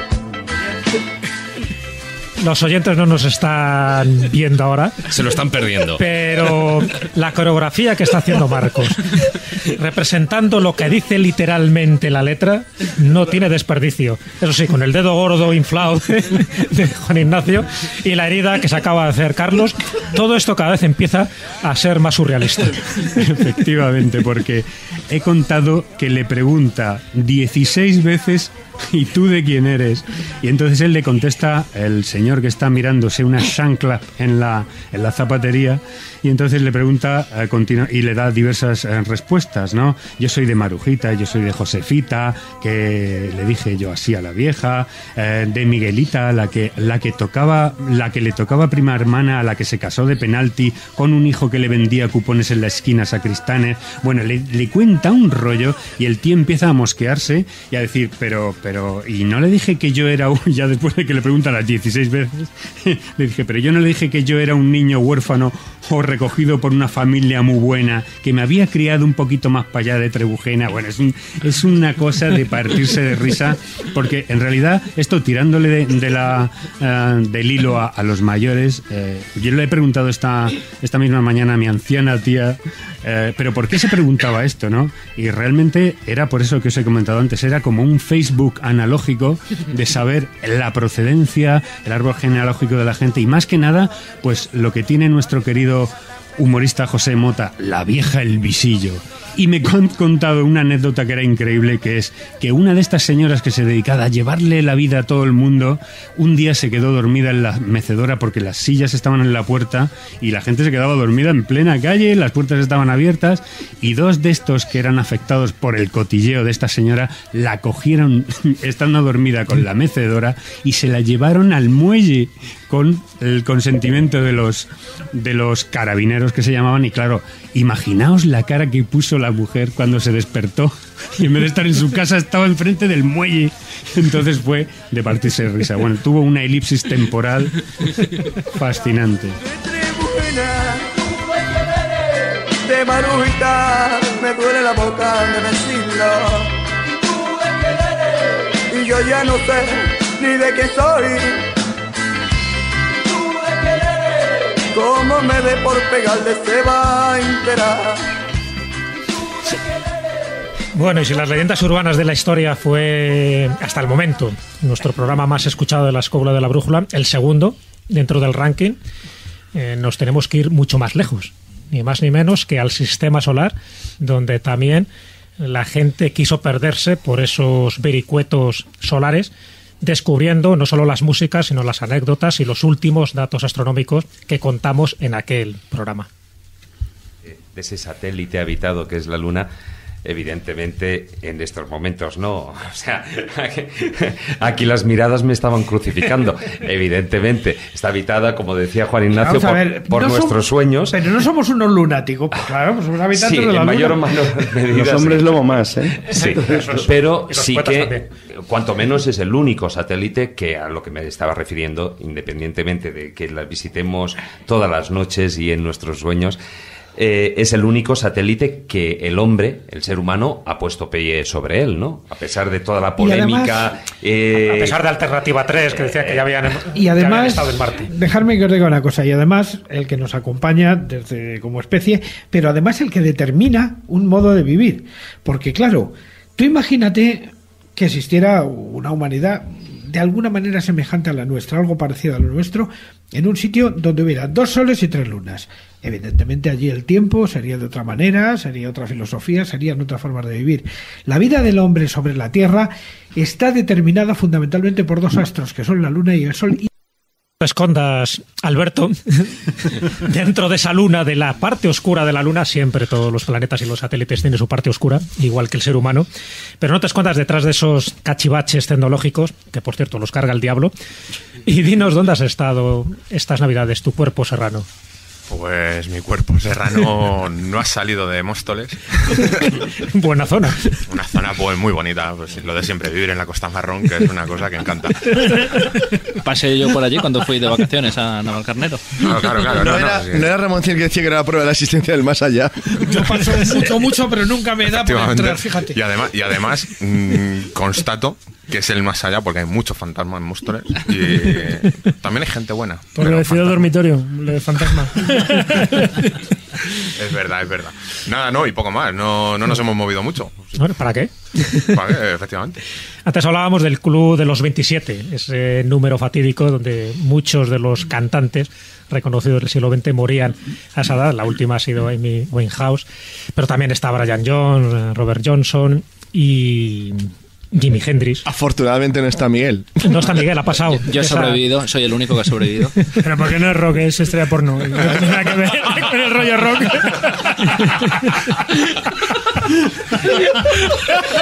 Ya, ya se están desvelando aquí profesiones. ¿eh? Eso le ha salvado. No llores, Miguel. No, no, yo de hecho, de hecho vivo relativamente cerca del Ikea del Parque del Oeste y, y he escuchado leyendas terribles sobre Miguel Sol. Gajes del oficio. Pero Alberto, ¿por qué Jimi Hendrix? ¿Por qué le tienes esa veneración especial? Que era Dios. Toma ya, ¿eh? Ya está, ya está, sí, sí, por eso. Porque era. Dios. Acaba de decir lo de Malcolm X, Dios en negro. Lo acabo de afirmar.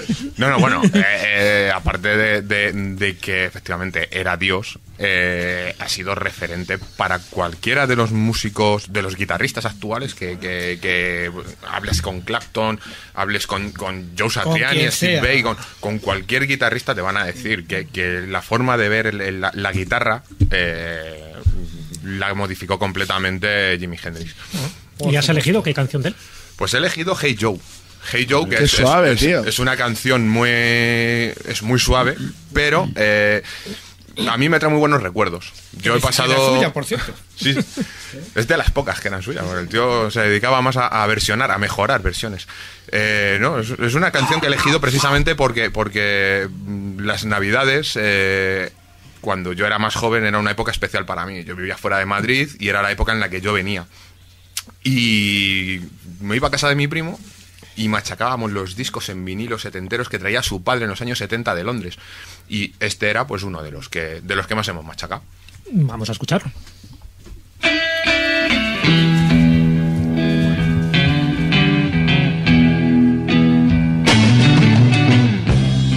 Hey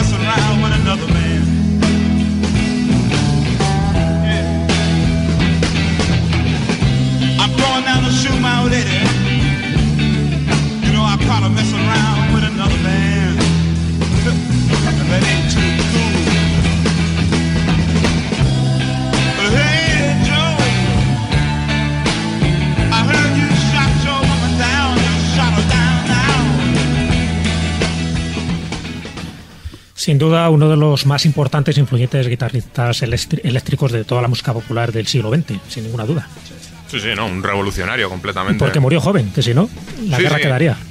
Yo tengo, tengo una teoría que comparto con un primo mío y que yo creo que, que se hubiera convertido en un gran hortera como muchos de los músicos de los 70, que, que llegados ya según qué épocas eh, no dan para más. Qué susto, creía que era como. Fidel Castro, que no Yo moría, no tío. estoy de acuerdo con eso. Yo no estoy de acuerdo con eso porque hay señores como, por ejemplo, como Knopfler o McCartney que han perfectamente superado el paso del tiempo y cada vez son mejores. O sea, es- Paul McCartney ha ¿Cómo? superado el paso ¿Paul del McCartney? tiempo. Paul McCartney se está convirtiendo en una tiene 100 señora años, mayor. tío. Paul McCartney es como Margaret Thatcher con el pelo más corto.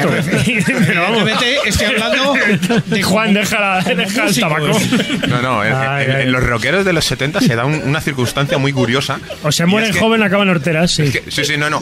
Por ejemplo, Pero el Paul cantante- McCartney superior, tío. El cantante y el cantante de Aerosmith que me contáis. O sea, el señor Tyler se está Bueno, convirtiendo peor en todavía, mi abuela. tío. ¿Cómo puede ser madre de su hija? No puede ser, tío. Ma- madre no, padre. He dicho madre a propósito, tío. Por lo del pañuelo. Si Janis Joplin o Kurt Cobain no hubieran muerto a los 27, ahora serían unas piltrafas. Posiblemente. No sé si piltrafa, pero. No le pero, había dado tiempo, ¿eh? pero sí que es cierto que, que de los muertos siempre se habla bien. Y siempre se, no sé, yo pienso que se mitifican mucho también. Mm. Muchos de estos, tanto ha pasado también con, con actores de cine, ¿no? Es decir, mm, James Dean. James Dean era muy malo, sí, es en, verdad. en el momento en el que fallecen se crea el mito. No digo que no sean buenos algunos de ellos, ¿no? Pero, pero sí es cierto que con la muerte lo que se consigue es esto. Tú coges, claro. Tú coges la trayectoria de Paul McCartney. ¿Cuántos discos buenos ha hecho de que se fue de los Beatles? ¿3-4? No, 3-4. Ha hecho cosas muy 1-2. No seáis injustos. Por eso, es que vive del nombre. 1-2, Juan Ignacio, 1-2.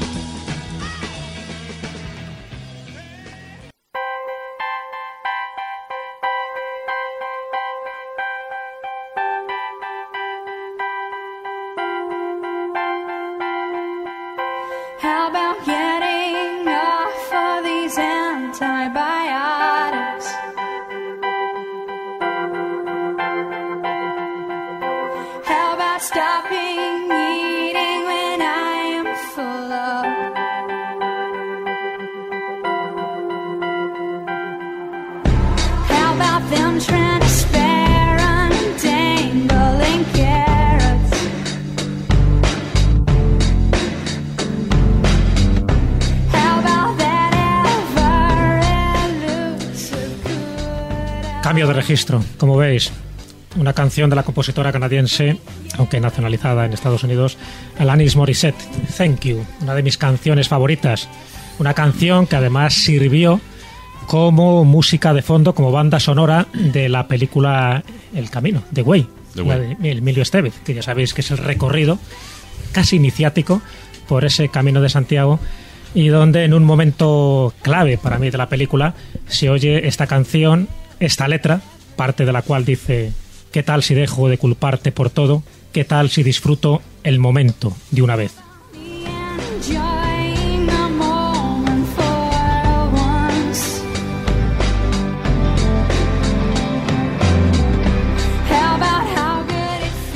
Una canción que refleja muy bien la actitud que debe tener el caminante, el peregrino, de agradecimiento de apertura al aprendizaje, porque si no se entiende así el camino de Santiago, ese camino jacobeo, yo creo que se perderían muchísimos enteros y sobre todo muchísimos matices. Y la canción refleja perfectamente, yo creo, que ese estado interior, ese recorrido que debe hacer no solo el peregrino con sus pies, sino también con su alma para reconocer y recordar que estamos aquí por algo. Y ya que hablas de peregrinos y de camino, ¿dónde has estado tú? Venga, desembucha. Claro. Yo, aparte de mi tierra leonesa, en un lugar que estuvimos hace poco, que fue en Villamalea. Villamalea, siempre en la Nochevieja, la paso con estos buenos amigos que vosotros conocéis. buena gente, muy buena que pasamos allí, además, un fin de semana estupendo. Fantástico. Con ellos, que me dieron recuerdos para todos vosotros, diciendo que os acogerán con los brazos abiertos y con unos buenos champiñones la próxima vez qué que recaléis por allí. Pero en el fondo, cada lugar que hemos recorrido en estas Navidades, cada viaje que emprendemos, siempre es un pequeño camino de Santiago, porque es cierto que vamos conociendo los lugares físicos y geográficos, igual que las rutas que iremos proponiendo a lo largo de este año en la escóbula, pero en el fondo también, y no lo olvidéis, y esta canción os lo recuerda, es esa, esas ganas de dar gracias por todo lo que tenemos, por todo lo que hacemos, por todo lo que aprendemos. Por eso, Alanis Morissette dice gracias a la India, gracias al terror, a la desilusión, a la debilidad, gracias a las consecuencias, gracias al silencio, porque sea bueno, sea mala, hay que dar gracias a todo, porque de todo, de todo aprendemos, de todo nos empapamos. Y, eso yo creo que es el principal aprendizaje. Los datos están ahí, en una enciclopedia, las fechas, eh, los números, los nombres, pero lo que nunca, nunca podemos olvidar es ese momento, esa sensación, ese instante que crea la magia. Estemos haciendo el camino de Santiago, estemos haciendo la ruta de la Plata o estemos yendo de camino a Móstoles o de camino a nuestro pueblo respectivo.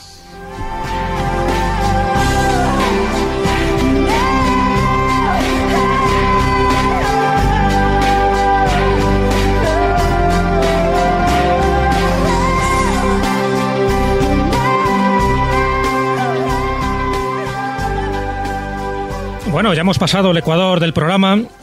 En este ambiente distendido en el que nos encontramos, yo creo que todos los oyentes se han dado cuenta que estamos rodeados de buenas viandas, de buenas bebidas y sobre todo de buen humor, porque ante todo la amistad es uno de esos valores que tiene que estar siempre en alza. Y puestos a recordar, puestos a rememorar, en el verano pasado, uno de los filandones, uno de esos especiales que empezamos a hacer, eh, quedó creo que redondo, quedó ardiente en el mejor sentido de la palabra, porque lo dedicamos ni más ni menos que a la magia y al misterio que tiene la noche de San Juan. Y yo creo que a, la gente, a los oyentes, les gustó especialmente porque poníamos un poco eh, esa guinda a todos aquellos que nos estaban escuchando para vivir una de esas noches mágicas. Hay unas cuantas más, pero esa noche mágica con lo que tienen que hacer y, que lo, y con lo que no tienen que hacer. Porque también es verdad que muchas veces la gente nos pregunta qué ritual debemos hacer. No hay que hacer ningún tipo de ritual. Yo creo que el ritual es estar ahí, estar en buena compañía, alrededor de la hoguera, y muchas veces esa hoguera puede ser virtual, y pasarlo bien. No lo olvidemos. Vamos a recordar un poco ese especial filandón. Yo creo que sería bueno empezar con una serie de matizaciones que creo que son muy básicas para todos los oyentes.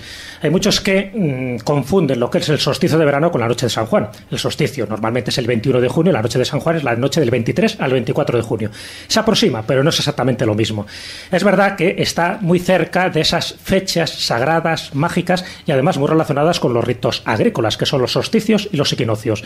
Pero claro, cuando se habla de la noche de San Juan como tal, tenemos que hablar de dos apreciaciones también. Por una parte, estamos hablando de una fiesta cristiana, de ahí la advocación de San Juan Bautista, y por otra parte, cuando hablamos del solsticio de verano, estamos hablando del hemisferio norte. En el hemisferio sur están ahora en el solsticio de invierno. Entonces, bueno, teniendo en cuenta eso, es cierto que todas las antiguas culturas siempre tenían una cierta predilección por estas fechas solsticiales y también equinociales, incluso a la hora de orientar sus monumentos.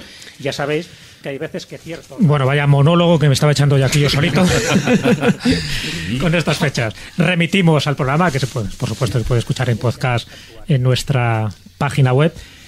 Y seguimos, seguimos yo creo que con este itinerario, con este recordatorio, no solo de los momentos más especiales o más emotivos de la temporada pasada, sino también de estas músicas.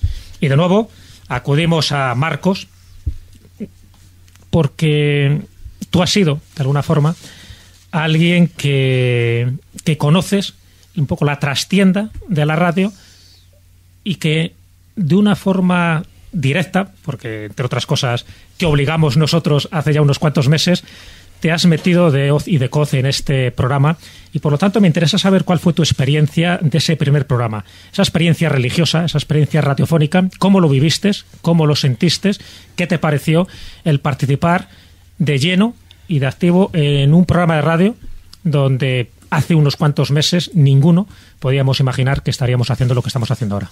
Exacto. Mm, Ahí, ahí le has dado un poco en el clavo, puesto que yo no había tenido experiencia en radio, eh, solamente me habían hecho, pues, por algunas exposiciones mías, alguna entrevista, etcétera. Entonces, el hecho de, de hacer el triple salto mor- mortal de explicar un arte netamente visual y convertirlo en audio, eh, claro, para mí y para Juan Ignacio fue un reto, pero bastante fuerte.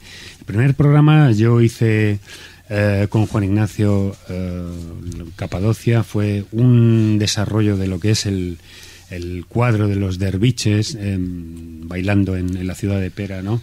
Los Y- Melewi. en Melewi y fue un, bueno describir con palabras y todas las claves que, que había en ese cuadro pues fue la verdad es que un reto y bueno fue como lanzarse a la piscina sin agua eh, porque de Es un tortazo, tío. Y dando vueltas de- de repente yo tenía en la cabeza toda esa serie de, de ideas en eh, técnicas, cosas que explicar, sensaciones cuando uno está en un lienzo en blanco, qué es lo que quiere decir.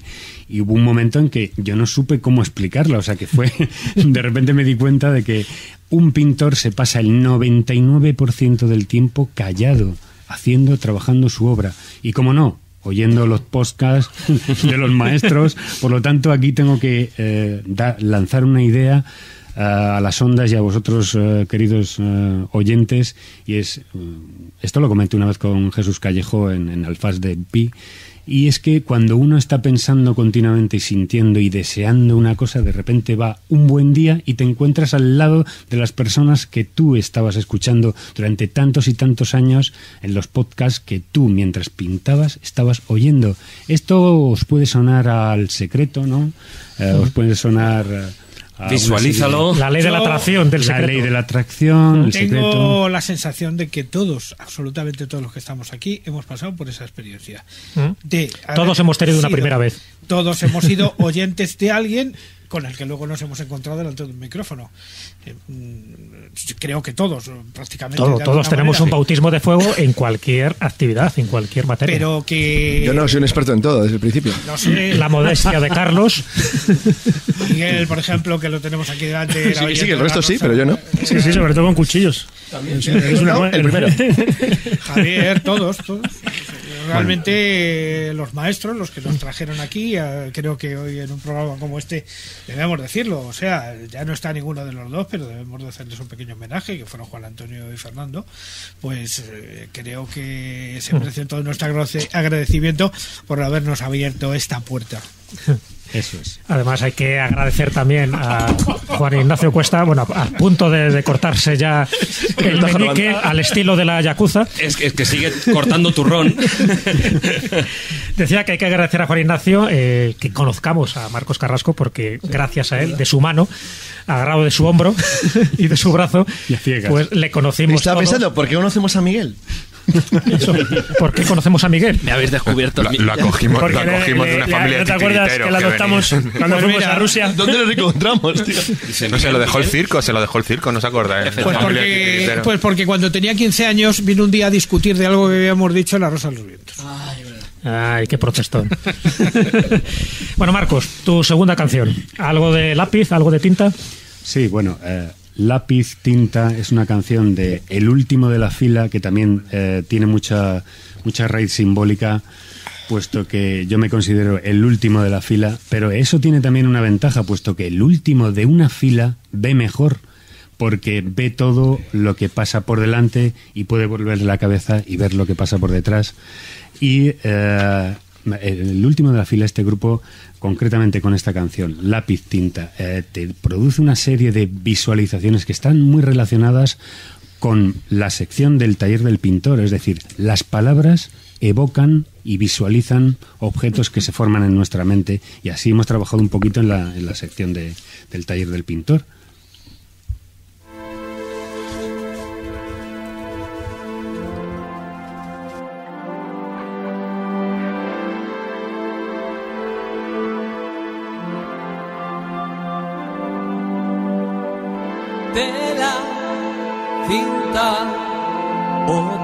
Otra vez a empezar.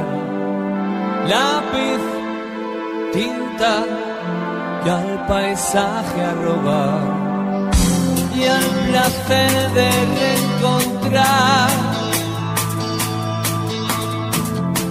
el limbo de un tiempo que se nos va. Libro, nube, ese es Y el partener, la pareja de baile de Marcos Carrasco, Juan Ignacio Cuesta, que cada semana, bueno, no cada semana, porque la verdad es que hay veces que hay programas especiales donde las secciones habituales no tienen cabida, pero sí que nos aportan distintos puntos de vista de esos cuadros que tienen su mensaje secreto. Y además, Juan Ignacio, tú eres el responsable de un zurrón que no para de caminar por esos mundos de Dios. Y de Alá, de los lugares de poder que has mencionado en la anterior temporada, ¿a cuál volverías? Bueno, a todos, porque realmente yo no hay ningún sitio al que haya estado al que no quiera volver continuamente, por humilde o pequeño que sea. Evidentemente tengo mis lugares emblemáticos, lógicamente a los que he vuelto con- vuelvo con recurrentemente de una manera, digamos, machacona, con tumazo. ¿eh? Eh, pues eh, lugares como por ejemplo cualquiera del Valle del Tajuña por razones obvias, pues porque tengo ahí una huerta y por muchísimas razones. Pero hay lugares que para mí son fundamentales, toda la zona del Alto Tajo, toda la zona de los montes de, que rodean el cañón de Río Lobos. ¿Por qué? Porque mis, mis aficiones también a la espeleología y todo eso pues determinan mucho todos estos sitios, el Valle de Asón, muchos sitios. ¿Y alguna zona del Mediterráneo? Pero hay un lugar al que siempre procuro ir todos los años porque para mí es fundamental, que es el mar. Además que yo conocí tarde. Yo no había conocido hasta los 18 años, no conocí el mar. Hasta los 18 años no me pude acercar a la playa, que fue la playa de Torre del Mar.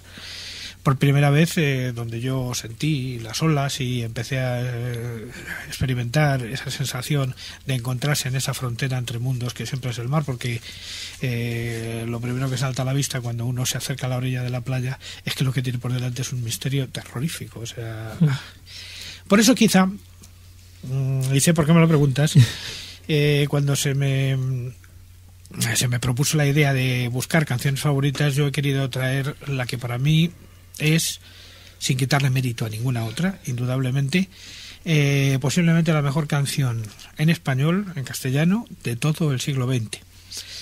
Esto no quiere decir que no haya mejores en el 17, en el 16, en el 18, en el 12, en cualquiera, incluso en el propio siglo XX y en el siglo XXI, pero a mí esta me parece eh, la canción que sonó precisamente ante el catafalco de Gila, de Miguel Gila, que la hizo poner.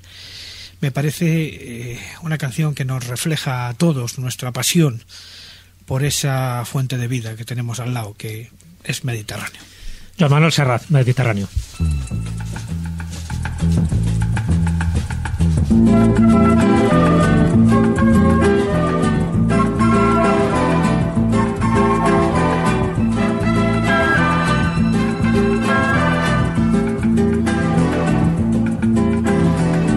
Porque mi niñez sigue jugando en tu playa y escondido tras las cañas duerme mi primer amor. Llevo tu luz y tu olor por donde quiera que vaya y amontonado en tu arena guardo amor, juegos y penas. Yo que en la piel tengo el sabor amargo del llanto eterno que han vertido en ti cien pueblos de Algeciras a Estambul para que pintes de azul sus largas noches de invierno. A fuerza de desventuras, tu alma es profunda y oscura. Qué grande es Serrat. Esta canción, es verdad, se podría convertir en uno de esos top 10 de las canciones españolas más escuchadas, pero más recordadas y de las que de forma reiterada eh, se siguen poniendo en multitud ¿no? de, de aparatos pero que uno lleva como los iPad. sobre todo con un mensaje telúrico, ecológico, poético, como pocos. Mm. Eh, es difícil que esa canción no hubiera tenido éxito porque de alguna manera todo el mundo puede asumirla Claro. como propia, todo el mundo ha tenido esas vivencias y todo el mundo las recuerda de alguna manera. Solo hay que acercarse al Mediterráneo solo. Hablando de recordar, Juan Ignacio, ¿te acuerdas de la primera entrevista que hicimos en la escóbula? Pues eh, no sé ahora mismo. De ¿a qué Toledo. te refieres? Ah, bueno, claro. Toledo. Oculto, con nuestros Toledo amigos Oculto, Julio efectivamente, César, con Julio César y Gonzalo para hablar de ese Toledo Oculto. Fue nuestra primera entrevista y después siguieron muchas más. Esa importancia que ya tiene Madrid en su origen viene vinculada directamente a Toledo. Pero es que luego cuando Felipe II pone la capitalidad en Madrid es para huir precisamente de toda esa autoridad de la que habla Gonzalo que se tiene en Toledo. Es decir, en Toledo estaba el arzobispo que se metía hasta la cocina en todos los fregados de Felipe II. Entonces Felipe II decide poner la capital en Madrid para librarse de esos problemas, por ejemplo. Pero, lógicamente, la importancia capital que tiene Toledo es innegable y lo ha sido durante, durante siglos en la historia de España. Hombre, claro. y yo me imagino también eh, es una cuestión de antigüedad. Es decir, antes he estado comentando que Toledo ya era celtíbera y ahí estaríamos hablando, eh, bueno, según los últimos estudios, anterior a, a, a 200 años antes de... Vamos a ver, la- la- cuando llega Roma a la ciudad de Toledo en el año 192 antes de Cristo, ya es descrita como la, la cabeza de la Carpetania, la llaman los, los cronistas grecolatinos.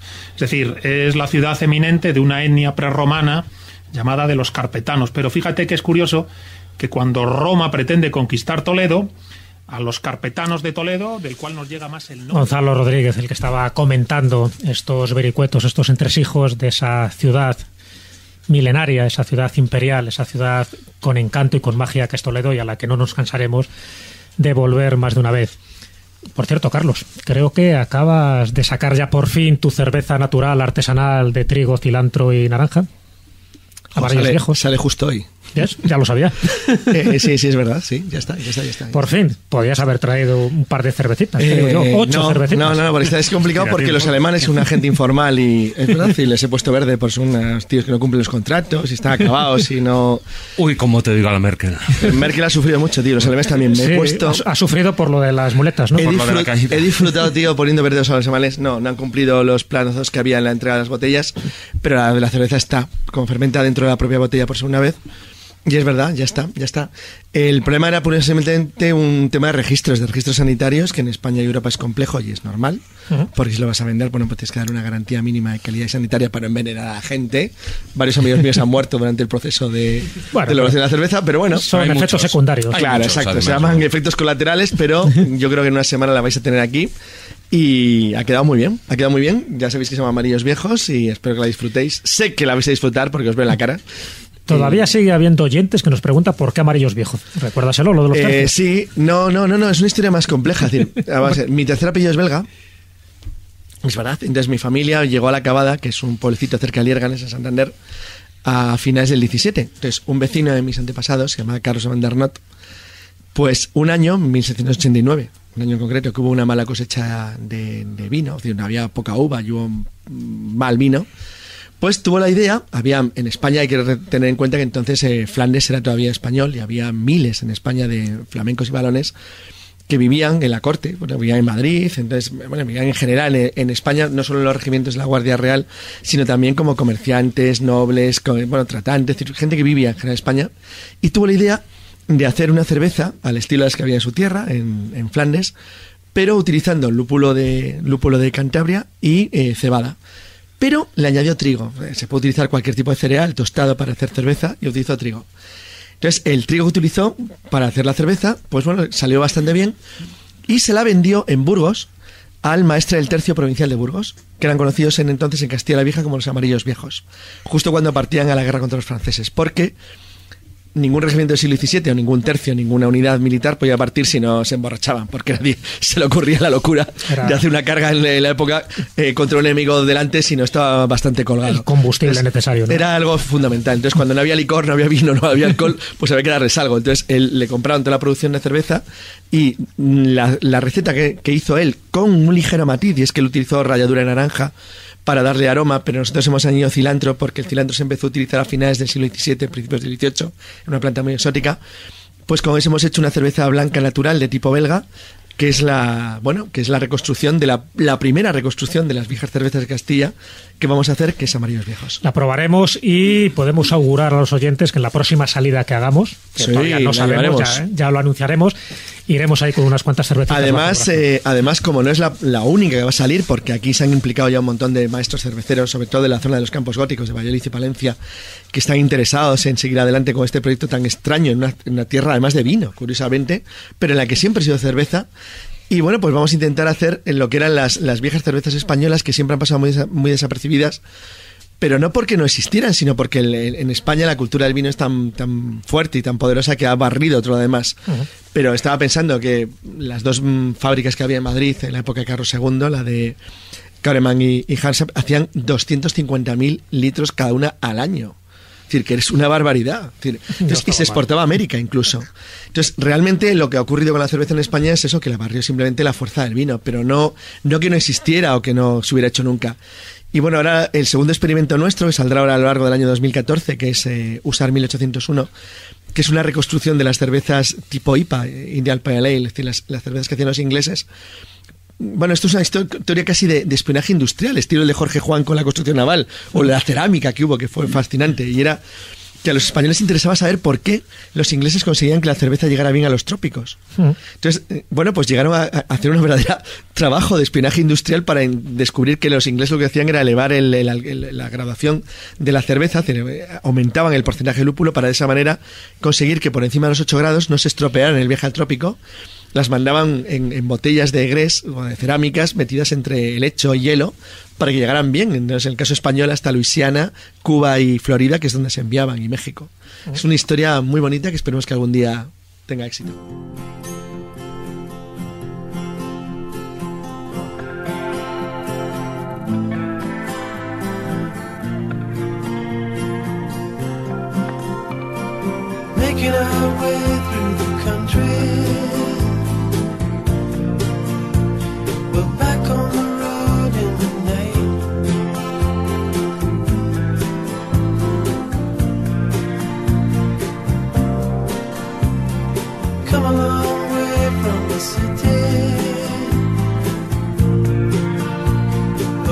On the road in the night.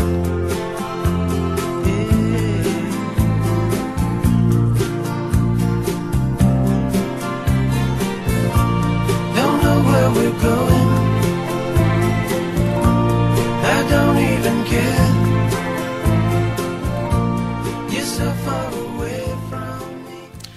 Back on the Road. Back on the Road, sí, le, le he contado al principio, al principio del programa que es una canción redonda, cuando alguien tiene suerte y le sale algo bien.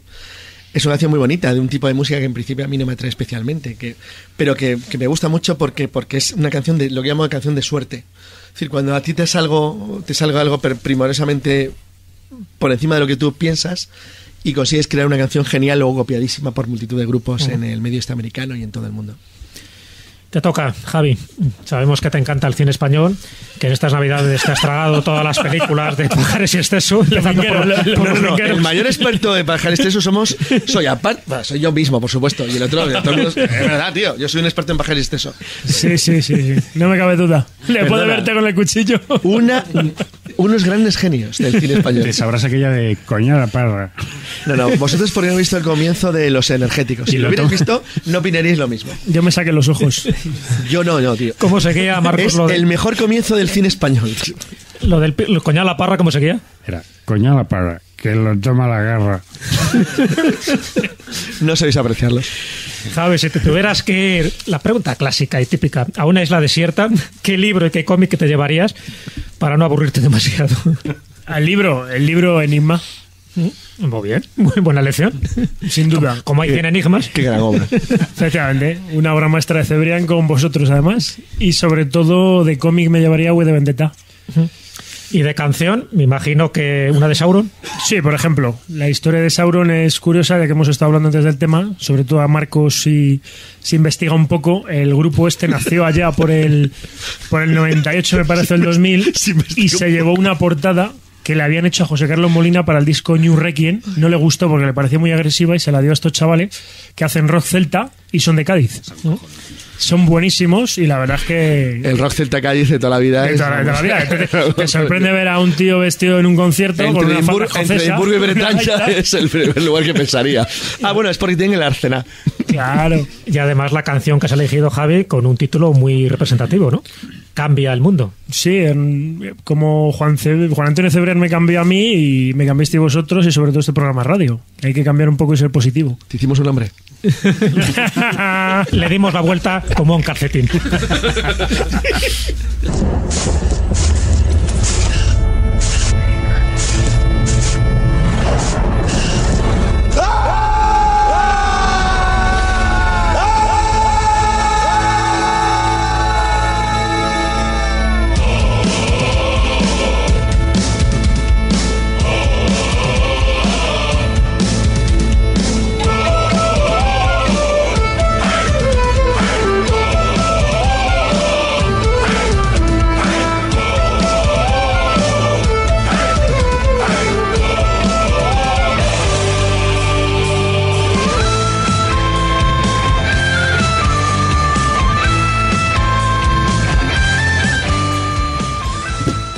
Esto es ritmo y no otras cosas. Eso es Andalucía. Sí, no está tío. mal. Pasa que con esta música, tú solo en una isla desierta, no sé cómo, cómo lo bailar con una palmera. De- desierta nada, siempre hay indígenas. Las que- Palmera las ponían que- los cocos. Pero vas y te envalentonas, ¿no? Le falta decir a los que matar. Con un par de cocos. Bueno, como veis, los miembros de la escóbula no conocemos el miedo, no- nos hemos atrevido con todo. Algunas canciones de, de Juan Ignacio, pero también hicimos una pequeña representación teatral. ¿Os acordáis del Conde Sisebuto? Esa pequeña pieza cómica de Joaquín Abati Díaz, que es muy poco conocido, que yo creo que un poco lo rescatamos en la escóbula, donde todos nos pusimos a hacer distintos papeles dentro de, nada, de esa pequeña parodia, que en el fondo es una tendencia al astracán, ¿no? una astracanada, pero que no nos quedó demasiado mal para no haber ensayado. Vamos Toda- todavía estoy en, en tratamiento. La verdad es que nos dejó a todos impactados. El ¿dónde está? A cuatro leguas de Pinto y a treinta de Marmolejo existe un castillo viejo que edificó Chindarvinto. Perteneció a un gran señor algo feudal y algo bruto, se llamaba Sisebuto y su esposa Leonor, y Cunegunda su hermana, y su madre Berenguela, y una prima de su abuela atendía por Mariana, y su cuñado Vitelio, y Cleopatra su tía, y su nieta Rosalía, y el hijo mayor Rogelio. Era una noche de invierno, noche cruda y tenebrosa, noche sombría y espantosa, noche atroz, noche de infierno, noche fría, noche helada, noche triste, noche oscura, noche llena de amargura. Vaya noche que nos estás dando, Miguel. Qué noche, válgame Dios. ¿Cómo la está pintando? Noche oscura, noche estremecedora. ¿eh? Te quedaste a gusto, ¿eh? A, a gusto nos quedamos. Lo decía Carlos ahí entre micrófonos. Cuando decía, y el chiribín chiribaina, es que el chiribín chiribaina es otro de nuestros Eso ha hitos, ¿eh? marcado un hito. Eso ha marcado un hito. Desde luego que hay un antes y un después en la música española. Hemos hecho múltiples giras por Latinoamérica con esta canción. Ya te digo. Sí, sí, además a capela, por ejemplo, entre todos, ¿eh? Ahora los polígonos industriales lo llaman Latinoamérica. ¿Cómo era el estribillo? A ver, ¿os acordáis? Poneros todos en el micrófono cuando diga tres. Una, dos, tres. Chiribín, chiribaina. Es el topo gasolineras, ¿no? Estaba el curita, estaba el curita, malito en la cama. Chiribín, chiribaina. Y a la medianoche llama la criada. Hazme chocolate, hazme chocolate. Señor, si no hay agua, chiribín, chiribaina. Coge el cantarillo y vete a buscarla. El pozo está hondo, el pozo está hondo, la soga no alcanza. Chiribín, chiribaina. Yo te daré una que al fondo llegará. Ya veis que no conocemos el miedo. ni el miedo, ni la vergüenza, ni... No somos los mismos, efectivamente, los de entonces, como diría Pablo Neruda. No somos iguales, pero yo creo que también un poco mejores, porque si nos atrevemos con esto, nos atreveremos con más cosas, ¿no? Y no nos cambiamos los nombres, además, luego. ¿para, para qué? ¿Para qué? Además, creo que, que Maese Cuesta amenaza con más canciones para este año, ¿no? Este año habrá muchas, muchas y muy diversas canciones. Muy diversas canciones, además siempre adecuadas al lugar del que hablemos y a las circunstancias que tengamos alrededor. Tengo algunas propuestas verdaderamente magistrales, pero todo llegará en su momento y tal, porque si no, entonces no hay sorpresa. Os puedo asegurar que he elegido lo más ridículo de, digo, Uf, lo que lo más sublime que he podido encontrar. Ahora me, me estaba recordando a Lelutiers, ¿eh? Pues casi. Oye, por cierto, ¿ves? ¿ves? Hoy, por ejemplo, podíamos empezar con la vieja moza, perdón, la vieja moza, moza marchóse a lavar la ropa, la lavó, la lavó, la colgó de un arroyuelo, la colgó de un abedul. Socorro. No le puedes dar cuerda. A ver, David. Como íbamos diciendo. Auxílianos en esta dimensión perdida, que siempre nos aportas ese toque sensato, parapsicológico, misterioso, Bueno, pues. a todos los temas que tratamos cada semana, con esa voz que encandila, ya lo hemos notado, ¿no? En el chiribín, chiribaina. De cazallera, sí. Y ese contenido que es Ulibella. A ver, ¿qué rescatarías dentro de estas canciones que has traído de la dimensión perdida? Bueno, pues fíjate, sí que guarda una relación con estos temas, porque es un, un tema musical perteneciente a una, bueno, que está dentro de una banda sonora que allá por el año 1994 a mí me impactó de sobremanera en un viaje muy importante que realicé en mi vida, ¿no? Eh, en aquella época tuve la, la inmensa suerte de ser invitado a Dharamsala, que es donde está el, el, el- El Dalai Lama. el- reside el, Dalai Lama en el exilio, ¿no? Y ahí lo que es en Dharamsala, que es conocida como la pequeña Lhasa, ¿no? Entonces allí tuve la suerte, como decía, de vivir, eh, de compartir con los monjes en el monasterio mismo ahí en Dharamsala, escuchando las enseñanzas de- que impartía en lo que era el Año Nuevo tibetano, que para, que para ellos no es, no coincide con este Año Nuevo nuestro, sino coincide precisamente en marzo, con lo que es la primavera, ¿no? El Año Nuevo eh, de la naturaleza. Y entonces, bueno, pues eh, después de estar esa semana por ahí, invitado dentro de lo que era en el, mismo monasterio, luego bajamos desde la, porque ahí estamos en lo que es los Himalayas, como ellos lo llamaban, y bajamos hasta Delhi, recorriendo todo lo que era la, zona norte de la India, que es inmenso, ¿no? Y ahí visitamos en Rishikesh, Haridwar, eh, Agra, bueno, un montón de, de estas localidades. Y entonces en el, la- los viajes, os podéis imaginar, los viajes por carretera larguísimos. Eran, eh, además, eh, las carreteras de allí no son las de aquí. Los vehículos de allí no tienen nada que ver con los de No aquí. jodas. pero, pero no, no, no, pero eh, tienen evidentemente su encanto. Allí los viajes son viajes, pero a la antigua usanza. O sea, en lo importante ya no solo era el destino, sino es el viaje en sí. No es como ahora. y llegar, y sobre todo llegar. ¿Pero, pero ibais con merienda o qué? No, no, no, bueno, es- a ver, para alguno de los viajes sí que lo importante fue llegar, sobre todo ir desde... El bocato chorizo, que no. Que ahí no conocen el chorizo. Tú sabes lo que, lo que es a las De 3 vaca de la mañana, ahí en mitad de, de las montañas de los Himalayas, como decía, encontrarte en la oscuridad de la noche un puestecillo donde te daban un té caliente que te sabía a gloria, sobre todo rodeado de lamas.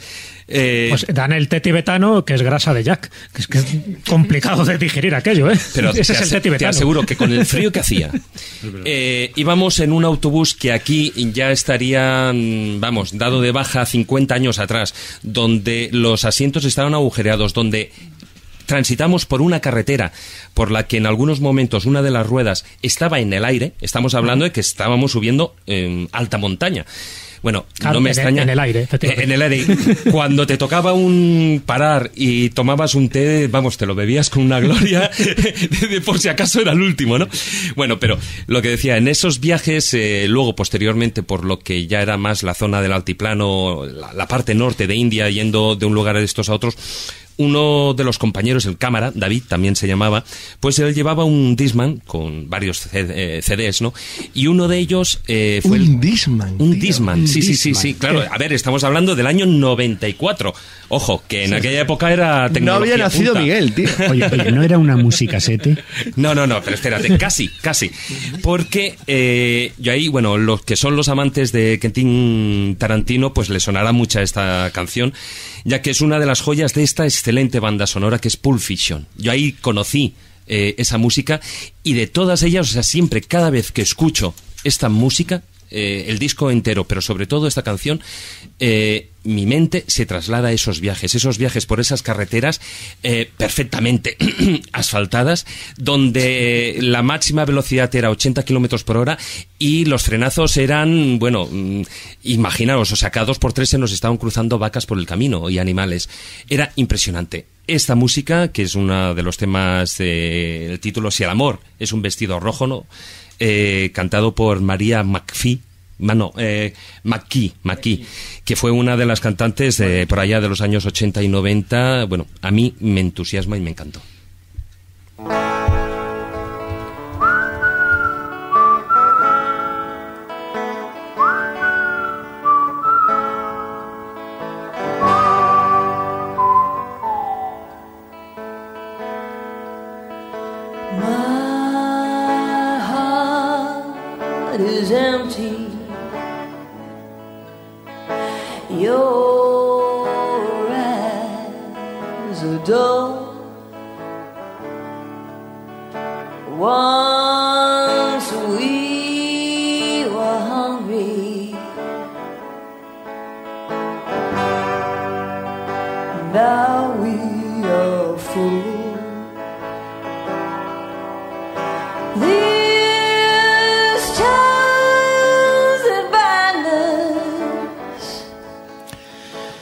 Canción es preciosa, pero parece un poco paradójico. Pulp Fiction. Pulp Fiction, sí, Con no, la verdad. Tarantino en No, no, la explanada tibetana, en La Paz. Esto sobre todo ya, ya era más no solo en la zona eh, en el en Dharamsala, sino ya luego por eh, recorriendo todas esas eh, carreteras por las regiones de Uttar Pradesh y tal, no yendo ya, ya te digo, pues por las ciudades santas de Haridwar, Rishikesh, tal, donde era la cuna del, de- del yoga, ¿no? Donde fueron, por ejemplo, los Beatles y tal. Entonces, eh, yo recuerdo eh, yendo por esa zona eh, la- al atardecer, poquísimos coches, los animales por mitad de la carretera, unas rectas terribles y escuchando esta música, viendo esa puesta de sol que, pues, eh, por, por, por un paisaje, bueno, increíble, increíble, ¿no? Porque además la luz ahí en la India es como ocurre, por ejemplo, también en Egipto, ¿no? O sea, es, es especial, es una luz especial. Es lo primero que llama la atención. Los que hemos estado en la India, muchas veces te preguntan, bueno, ¿qué es lo que más te impresiona de la India? Aparte de su cultura, de su religión, lo primero que te impresiona cuando llegas, y normalmente llegas a Delhi, es esa luz, ese color, ese olor El tan olor. específico, ¿no? Y sobre todo ese barullo, ese ambiente de vida, ese enjambre, ¿no? De vida en el que se convierte cualquier ciudad hindú. Hay pobreza, evidentemente, pero rebosa vitalidad. Sí, sí, sí, por todas partes, por todas partes. Y además, eh, afortunadamente, bueno, como dicen, ¿no? Cuando el, eh, el alumno está preparado, aparece el maestro. Pues algo parecido me ocurrió a mí en esa zona, ¿no? Yo había, llevaba mucho tiempo leyendo sobre estos temas, sobre todo el tema del budismo, el tema eh, del hinduismo, y de repente me llega esa invitación para hacer ese viaje. Bueno, pues Por así algo vinieron sería. las cosas. No hay nada casual. Miguel, de tu cofre creo que has sacado ya mapas, reliquias, las cosas más raras de todos esos cachivaches para tu pe- pequeño museo particular. ¿Con cuál te quedarías? ¿De los que ya he sacado? De los que has sacado, sí, porque de los que vas a sacar ya nos Ah. iremos enterando poco a poco. Vale, vale, vale. Uf, pues sería sería complicado. Quizás a lo mejor me quedaría con unos autómatas de los que hablamos en uno de los especiales de verano, que son los autómatas que había en el reloj de la torre de la Catedral de León. Ah, Que- bien, bien, buena elección. Por cierto, que allí es curioso, ¿no? Porque es una leyenda urbana, pero que mucha gente todavía lo desconoce. Siempre se habla de la piel del topo. Y sin Ah, embargo, sí, cuando vas sí, buscando sí. la piel del topo, que tiene que ver, en fin, con, con la. topo maligno. Con el, el poco adecuado, poco adecuada estructura que tiene la, la Catedral de León, porque se ubicó en una topografía bastante endeble, entonces había eh, derribos continuamente y siempre se aplicaba, pues no a la incompetencia de los arquitectos, sino a un topo que no hacía más que horadar aquel terreno y por eso Que se iban los cimientos, decía. Dice que, que consiguieron por fin capturar al topo, pero cuando tú ves la piel del topo, por lo menos la que te enseñan, de piel no tiene nada. No, claro, es el caparazón de una tortuga laúd que se encuentra encima de una de las puertas de la catedral. Parientes hermanos, como todo el mundo sabe. Pero fíjate, aunque sea una falsedad completa y que no hay un topo que se coma los cimientos de nada, ni No cuestiones así, sí que es muy interesante el, el indagar cómo narices llegó un caparazón de una tortuga laúd a León. Aquí hay mucho chulo, pero a la Inquisición no tienes huevos de decirles. Creo, creo que ha salido en el No, programa de alienígenas ancestrales. Cuando, cuando pillaron cuando pillaron al topo le dijeron topota madre. ¿Qué, qué canción has elegido?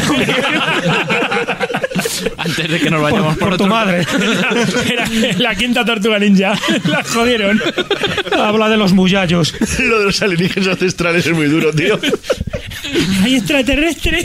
Pues, pues mira, precisamente la canción que he elegido tiene también algo de diabólico, como esto que estamos hablando, porque precisamente uno de los protagonistas de su videoclip es el diablo, porque utilizan nada más y nada menos que como elemento del videoclip uno de los primeros cortometrajes que hizo Georges Méliès, en el cual se empiezan a utilizar unos primitivísimos efectos especiales muy divertidos, de pues eso, que se multiplican objetos y es simplemente pues ir cortando cuidadosamente todo ese metraje.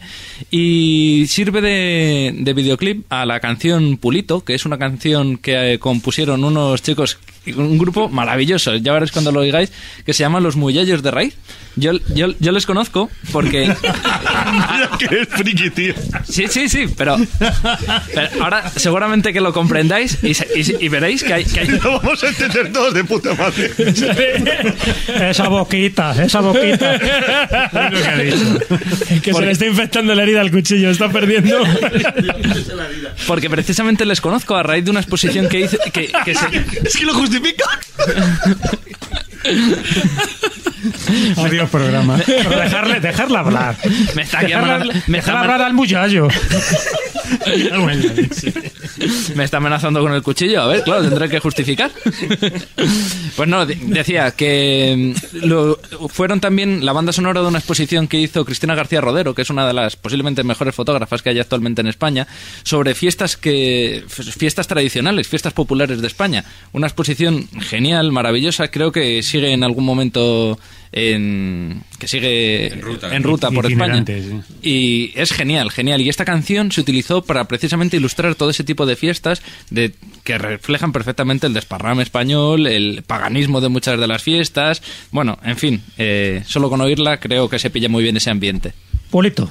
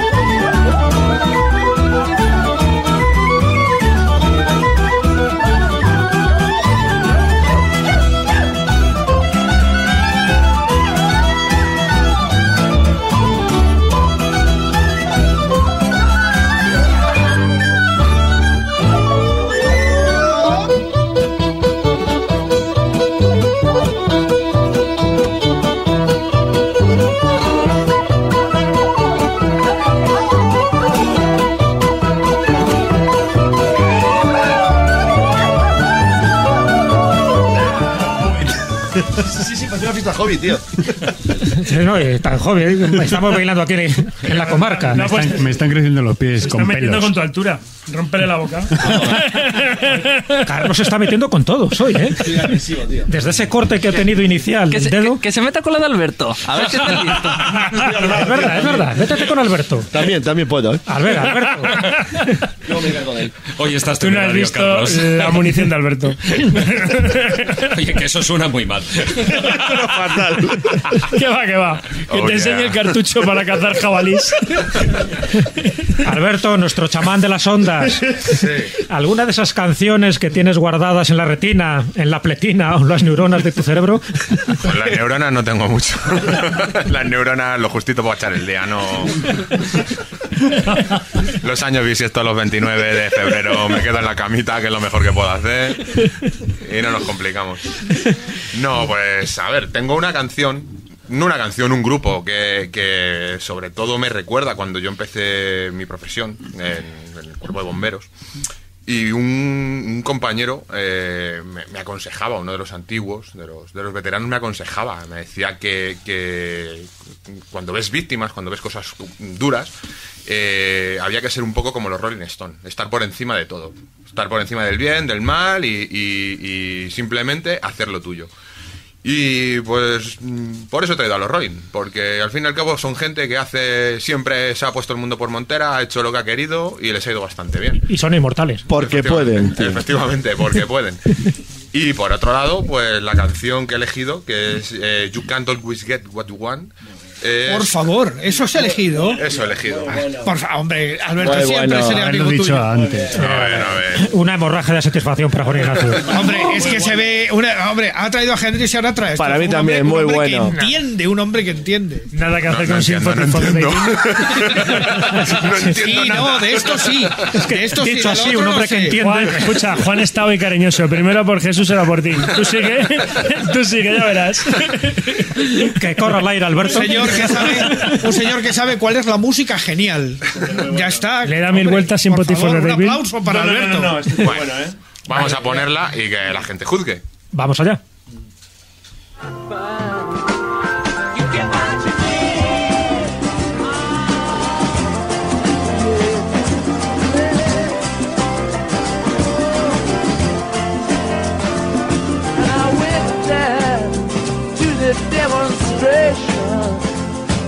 Get my fair share of abuse. Singing words gonna vent our frustration. If we don't, we're gonna blow a 50 amp fuse. Sing it to me. You can't always get what you want. You can't always get what you want.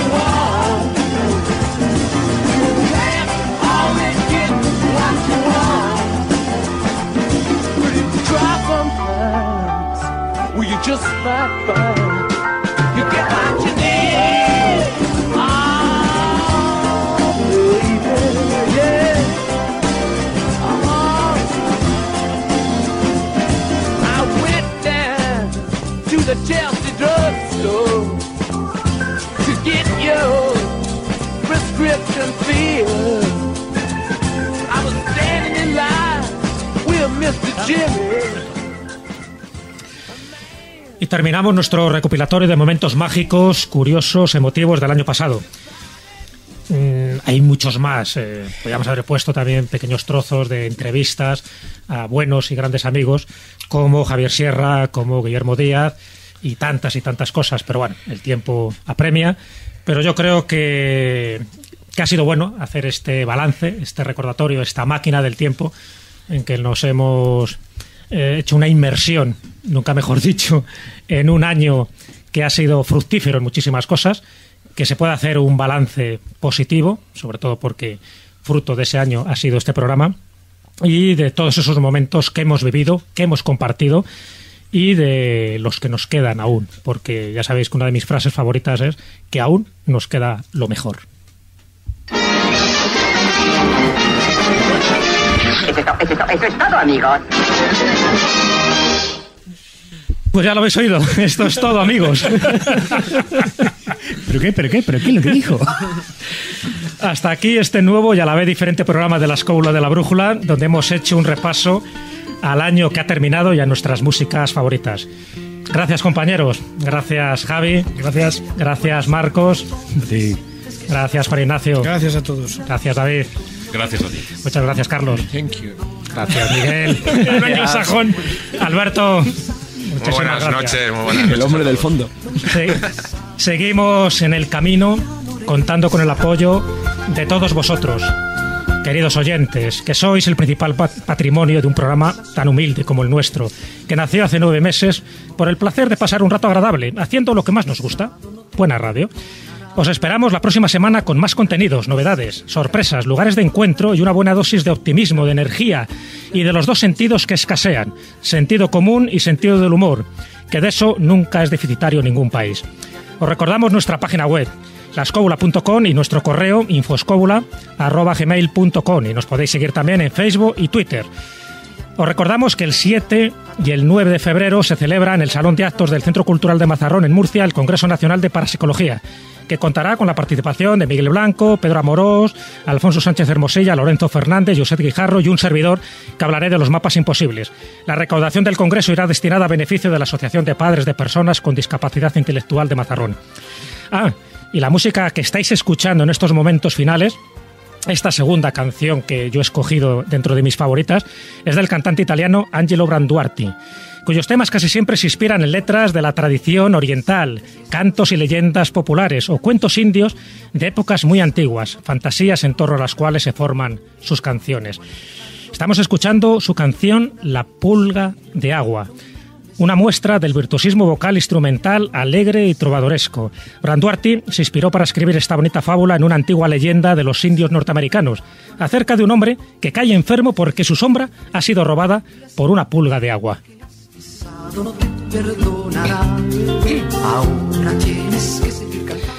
no perdamos nunca nuestra sombra y mucho menos la vendamos al diablo, como le pasó al protagonista de la novela de Aldebert von Chamisso. Sabiendo esto, no dejéis de proyectar vuestra sombra y vuestras ilusiones. No dejéis de soñar, de viajar, de amar, de abrazar y recordar siempre que la vida no se ha hecho para ser comprendida, sino para ser vivida.